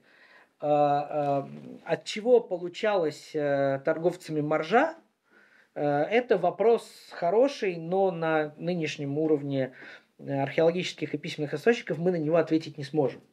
Но э, драгметаллы э, обращались ровно по тому курсу, даже если это были ювелирные украшения, сколько, стоил, сколько стоило э, само весовое серебро. Э, то есть вот по, э, для, для, для, для серебра это вот прям ну, как бы точно. То есть э, серебряные украшения стоили весовое серебро плюс тот дар, который заказчик должен был дать ремесленнику. Что касается области золота, то область золота это вообще не массовая штука. Область золота это сильно сакрализованная штука. Э, судя по э, некоторым намекам письменных источников, свободное обращение золота не допускалось. То есть золото было прерогативой конунга, князя Ярла, который должен был его распределять даром так сказать, э, вот по социальной лестнице. То есть золото дарилось, но не продавалось. Золото получали от халифата э, при помощи обменных операций. И дальше что с ним происходило э, значит, внутри Руси, вопрос открытый, потому что находок золотых монет в эпоху викингов в Восточной Европе, ну там, для 8, 9 и 10 веков 20 монет. Угу. 25. Но это единицы. Но они вообще есть. То есть они, они вообще есть. А в Скандинавии? А, в Скандинавии, в Скандинавии меньше, чем в Восточной Европе. А золото в Западной Европе? В Западной э, золото Европе золото, конечно, есть монетное, э, и римское, и в виде вещей. Э, у нас больше золота в виде вещей. То есть золотые браслеты более обычны, чем золотые монеты. Э, почему? Потому что э, золото в монетной форме, как только поступало к русам, они тут же его переплавляли на браслеты и обращалось золото в виде браслетов, которые дарились, которые носились. Э, у каждого руса было два золотых браслета. Мы это точно знаем, потому что, во-первых, они есть в археологии. А в смысле у каждого? У каждого. У каждого... У каждого руса было два золотых браслета, э, ну, богат, который мог себе позволить. Потому что, опять же, в анонимной записке 9 века есть указание на то, что каждый приличный рус э, имел два золотых браслета, которые клались к нему в могилу, когда он умирал. Мгм. И мы знаем, как выглядят эти браслеты. У нас они есть в 9, 10, 11 веке. Они совершенно одинаковые, простенькие золотые браслеты, либо граненые, либо витые. А, э, Мы точно знаем, что они э, изготовлены из перелитых монет. Потому что никак кроме монет это золото в, э, ни в Древней Руси, ни в Скандинавии поступить не могло. Э, До эпохи викингов золота в, в Восточной Европе не было вообще, кроме как э, в Херсонесе, потому что оно там обращалось в византийское. Э, Во всей остальной Восточной Европе его не было. Получить золото от византийцев торговыми путями было невозможно, потому что в Византии был запрет на вывоз золота за пределы империи. Законодательный, за который была, э, за нарушение которого была уголовная ответственность. Единственной возможностью получить золото из Византии было получить его в дипломатический дар. У нас есть золотые монеты в 9, 10, 11 веков в Восточной Европе очень неб- небольшом количестве. И про каждую из них мы можем сказать, что это, скорее всего, подарок дипломатический э, высокого статуса, но не следствие торговли. Торговля с Византией шла на серебряные монеты, они назывались миллиарисии, и на эм, шелк византийский, который назывался поволока по-древнерусски. А вот э, серебро, двигаясь из э, арабского мира и из э, Византии, с увеличением расстояния, на которое оно уходило, оно э, теряло чистоту пробы или сохраняло? То есть чем дальше, тем оно становилось грязнее или э, сохраняло чистоту? А, наоборот, э, запр- значит, э, э, Наоборот, очищалось. очищалось. Если чистое серебро в чеканилось в халифате, то его чистота при переплавке не снижалась. Мгм. наоборот, увеличивалась. Потому что при переплавке у вас есть возможность, э, э, ну вот, скажем, есть хороший метод, вот у вас есть серебро, вы его сплавляете в слиток, и дальше специальное такое приспособление, удлиненный тигель, так называемый тигель для купилирования, в котором вы можете э, вот так вот э, сплав э, жидкий э, прокачать, э, и дальше э, чистая серебряная фаза, она льется лучше, чем э, серебро с примесями. Поэтому э, купилированный слиток, э, прокачанный вот таким вот образом, он имеет разную, э, разную частоту. Э, И у вас есть возможность э, очень простой процедурой купилирования очистить серебро за несколько отливок. Мгм. Они так практиковали. То есть это прям Это очень просто. распространенная практика Да, была. это распространенная практика. э, Значит, при переливке серебряных вещей у вас есть возможность монет, там не монет, э, э, увеличить пробу. И этим пользовались. Значит, в норме викинские и древнерусские серебряные вещи чище, чем плохое серебро. То есть они такие же чистые, как хорошее серебро, и чище, чем плохое серебро. Мгм. Под А, плохим мы подразумеваем вот эту уже порченную монету. пробы. 750, 600 и так далее. Мгм. Значит, вы получаете какое-то количество плохих серебряных монет второй половины X века, э, и переливая их на вещи, вы увеличиваете пробу до хорошего... То есть они перестают быть серыми и становятся белыми. Средневековый человек, э, значит, который регулярно э, работает с серебром в монетной или вещевой форме, определяет пробу по цвету. Вот я, как бывший хранитель э, значит, коллекции исламских монет, могу Мгм. сказать, что я э, по любой серебряной монете, по цвету патины э, определяю пробу с погрешностью в 15%. М. Это такая насмотренность. Да, на это глаз. насмотренность. Это Ничего себе. насмотренность. То есть и у них была такая же, потому что если каждый день работать серебром, То есть ты профессиональные купцы русы могли на глаз тоже чистоту они не определить. просто ее на глаз могли, они ее видели. Мгм. То есть, грубо говоря, э, значит, э, по цвету клада можно определить его дату. Вот, скажем, э, да, э, э, вот э, когда вы видите какую-то партию монет серебряных, ну или там любого серебра, плохого, хорошего, по цвету патины вы можете сказать, какая хронология у этого клада будет, какие там будут монеты. Ну, соответственно, они это видели прекрасно. То есть, ну, это прям не подлежит сомнению. Это э, в принципе, это довольно легко доказать физико-химически, потому что э, я вот в свою бытность, значит, хранителем нумизматической коллекции систематически делал анализ металла больших кладов для того, чтобы прокоррелировать хронологию, типологию и частоту металла.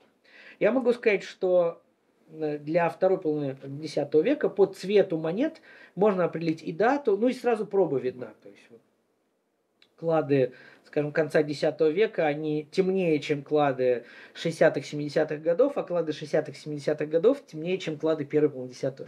Угу. Причем э, падение пробы в каждом случае э, примерно 15, 20, 25 процентов.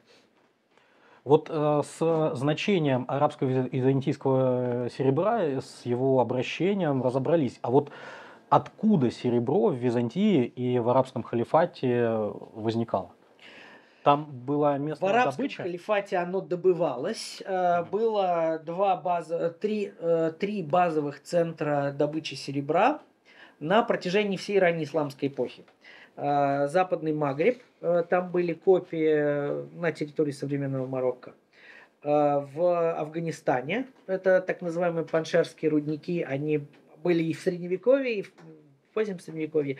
И рудный район Шашилак, это окрестности современного Ташкента, вот эти три рудника обеспечивали потребности всего халифата в серебре на протяжении ранней исламской эпохи. Для первых десятилетий ислама а, источником а, серебра было серебро, обращавшееся в сасанитском Иране. Сасанитское э, серебро было очень чистым, очень многочисленным. Сасанитские драхмы э, после финала сасанитской державы обращались еще два века спустя. То есть, скажем, в вкладах 8 э, века они просто доминируют, а в вкладах 9 века они там ну, 10%. Вот. Поэтому серебром в исламе проблем не было.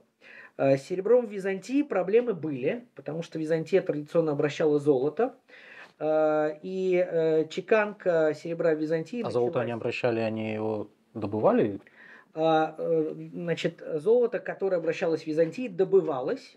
В Византии? В Византии, в э, Пактол, река Пактол, это запад Малой Азии, там Значит, э, э, э, золото просто мылось в виде слитков, значит, еще с ранней античности. И как бы в Византии, собственно, источники золота были.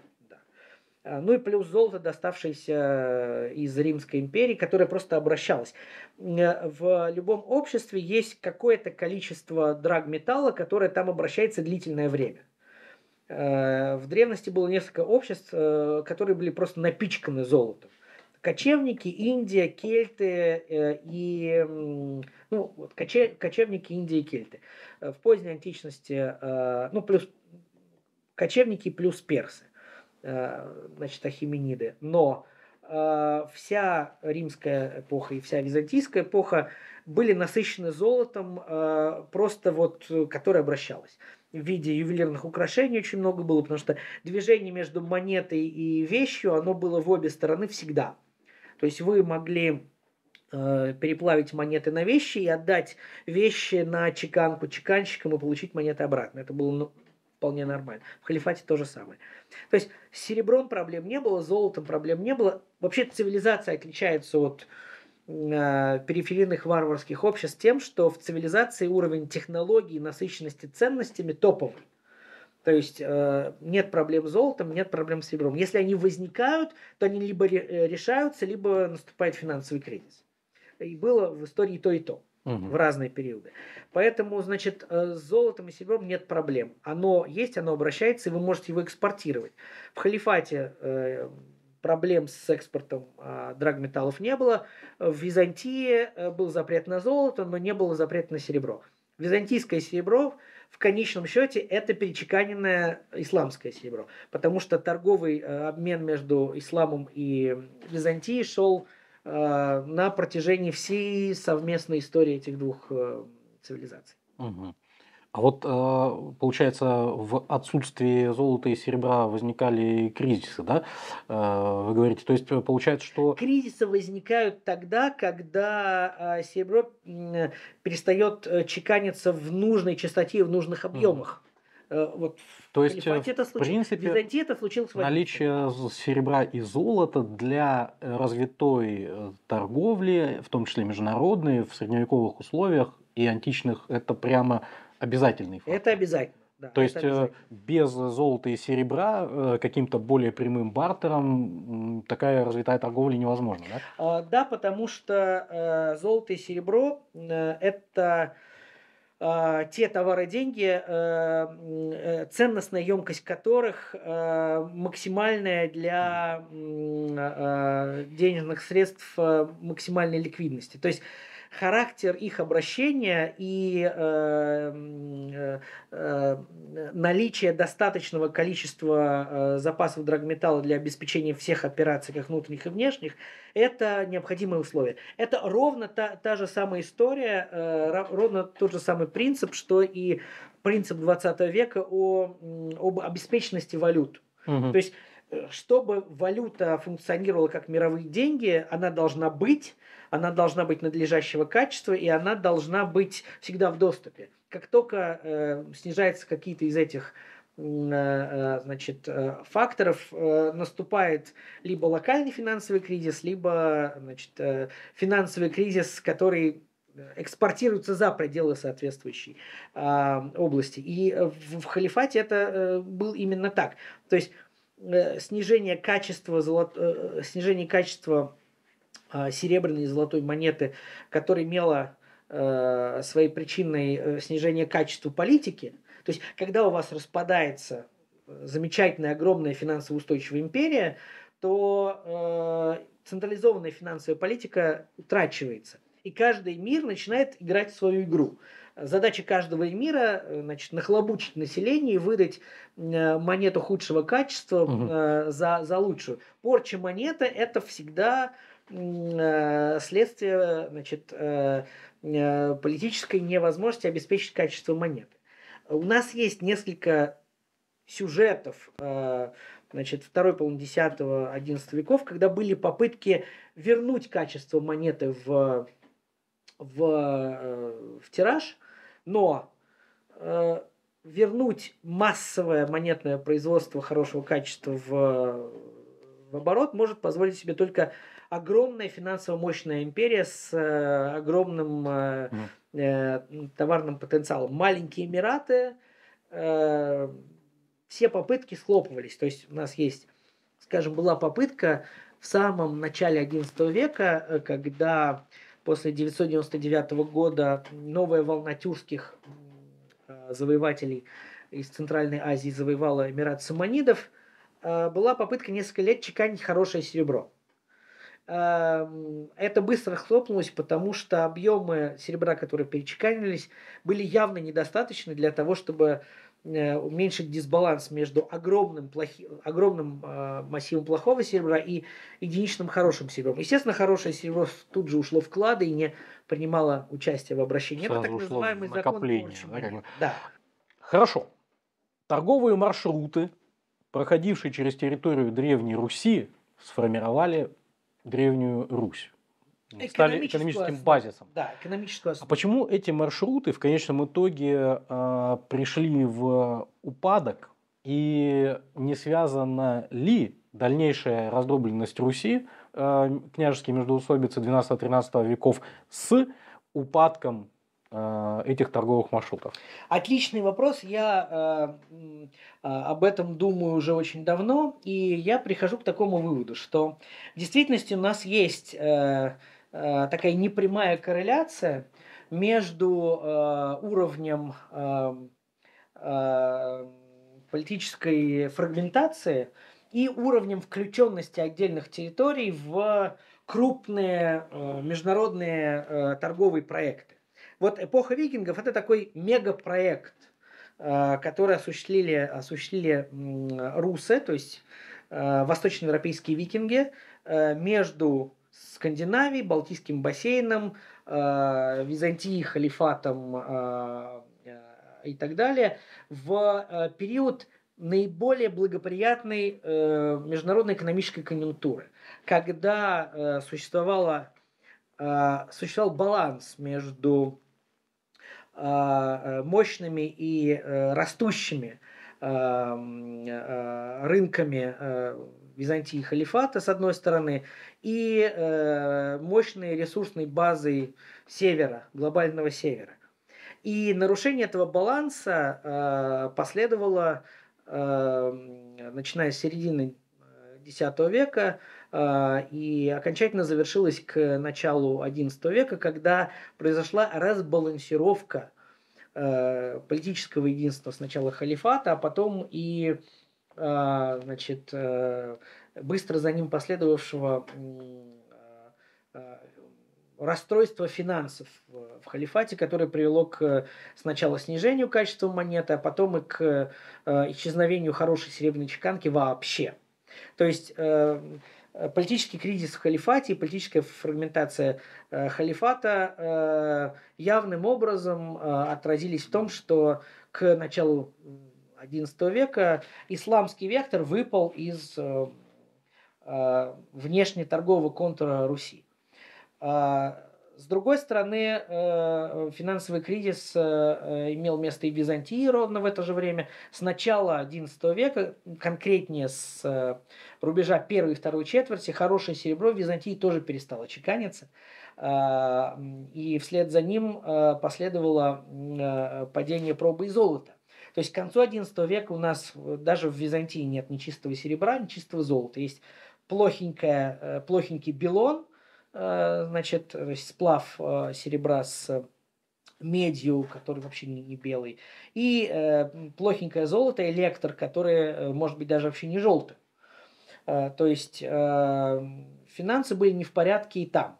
Э, с другой стороны, э, в конце X века начинается поздняя э, фаза эпохи викингов, которая с точки зрения внешней торговли вся завязана на Западную Европу. Но Восточная Европа от Западной Европы была сильно дальше, чем от Византии и Халифата. Поэтому э, э, наиболее близким к потокам западноевропейского серебра восточноевропейским регионам был Новгород и Новгородская земля, которые mm. остались в экономической сфере эпохи викингов вплоть до середины XII века. Серебро поста- э, продолжало в них поступать. А вот вся остальная Русь оказалась дальше вот этих путей, чем надо. Поэтому политическая фрагментация Руси началась именно с южных территорий. Эм, обособление э, киевского э, фрагмента Единой Руси в, после середины XI века – от э, Псковско-Новгородского и от э, Ростова-Суздальского обозначила контуры будущей фрагментации Руси на три больших блока, э, каждый из которых в течение 12-13 веков фрагментировался еще сильнее. Политическая фрагментация – это прямое следствие двух причин. Одной генеалогической и правовой, суть которой заключается в том, что при э, увеличении э, количества представителей правящей династии Рюриковичей каждому э, правителю э, нужно выделить свой удел родовой, который будет э, его э, доменом или, как говорили в древнерусском языке, вотчиной. Э, поэтому территориальная фрагментация, она является следствием правового статуса князя, который э, должен Э, обладать какой-то своей властью на какой-то своей земле. А второй момент заключается в том, что попытки локальных э, интеграций, политических, экономических, имели переменный успех. Э, в частности, вот э, э неплохой проект был значит, первой половины XII века в Ростово-Суздальской земле, но и он тоже в конечном счете э, привел к еще большей политической фрагментации на значит, уделы, которые в последующем 13-14, начале 15 века породили несколько десятков княжеств. То есть удельный период – это следствие разветвления правящей династии, чистого такого демографического и генеалогического, которая требовала компенсации землей и эм, землей и властью. И второй момент поддерживать экономику на уровне интеграции в мировые структуры можно, если ты крупная как бы крупная, крупный юнит, крупная держава. То есть держава Рюриковича, там, от Ладоги до Киева. Но когда ты маленькое княжество, то э, задача э, экономической адаптации сводится к э, поддержанию э, баланса внутри княжества, который, mm-hmm. как мы знаем по материалам 13-14 века, прекрасно достигался за счет местных ресурсов. Поэтому э, степень э, значит, э, политической фрагментации территории Руси э, находилась в э, явной корреляции с падением включенности Руси в мировые финансовые и торговые рынки. Ростово-Суздальская Русь сохраняла тесные связи с Волжской Булгарией, и Волжская Булгария была для Северо-Восточной Руси естественными воротами в мир восточной торговли но э, ее масштабы и объемы были на, пожалуй, два порядка ниже, чем в эпоху викингов. У нас есть э, прямые свидетельства того, что восточные товары постоя... э, продолжали поступать. Но те объемы, которые были достигнуты в эпоху викингов по серебру, по драгоценным э, категориям товаров, э, ну, по археологическим данным они снизились. Что касается э, значит, э, самого хода э, торговли Восточной Европы и Древней Руси с Востоком, то характер его характер его торговой структуры не поменялся. В источниках 12, 13, 14 веков у нас все те же категории, значит, есть и меха, которые продолжают доминировать, и так далее. То есть в действительности э, структура поменялась не сильно, а вот э, объем, характер, масштаб, плотность снизились.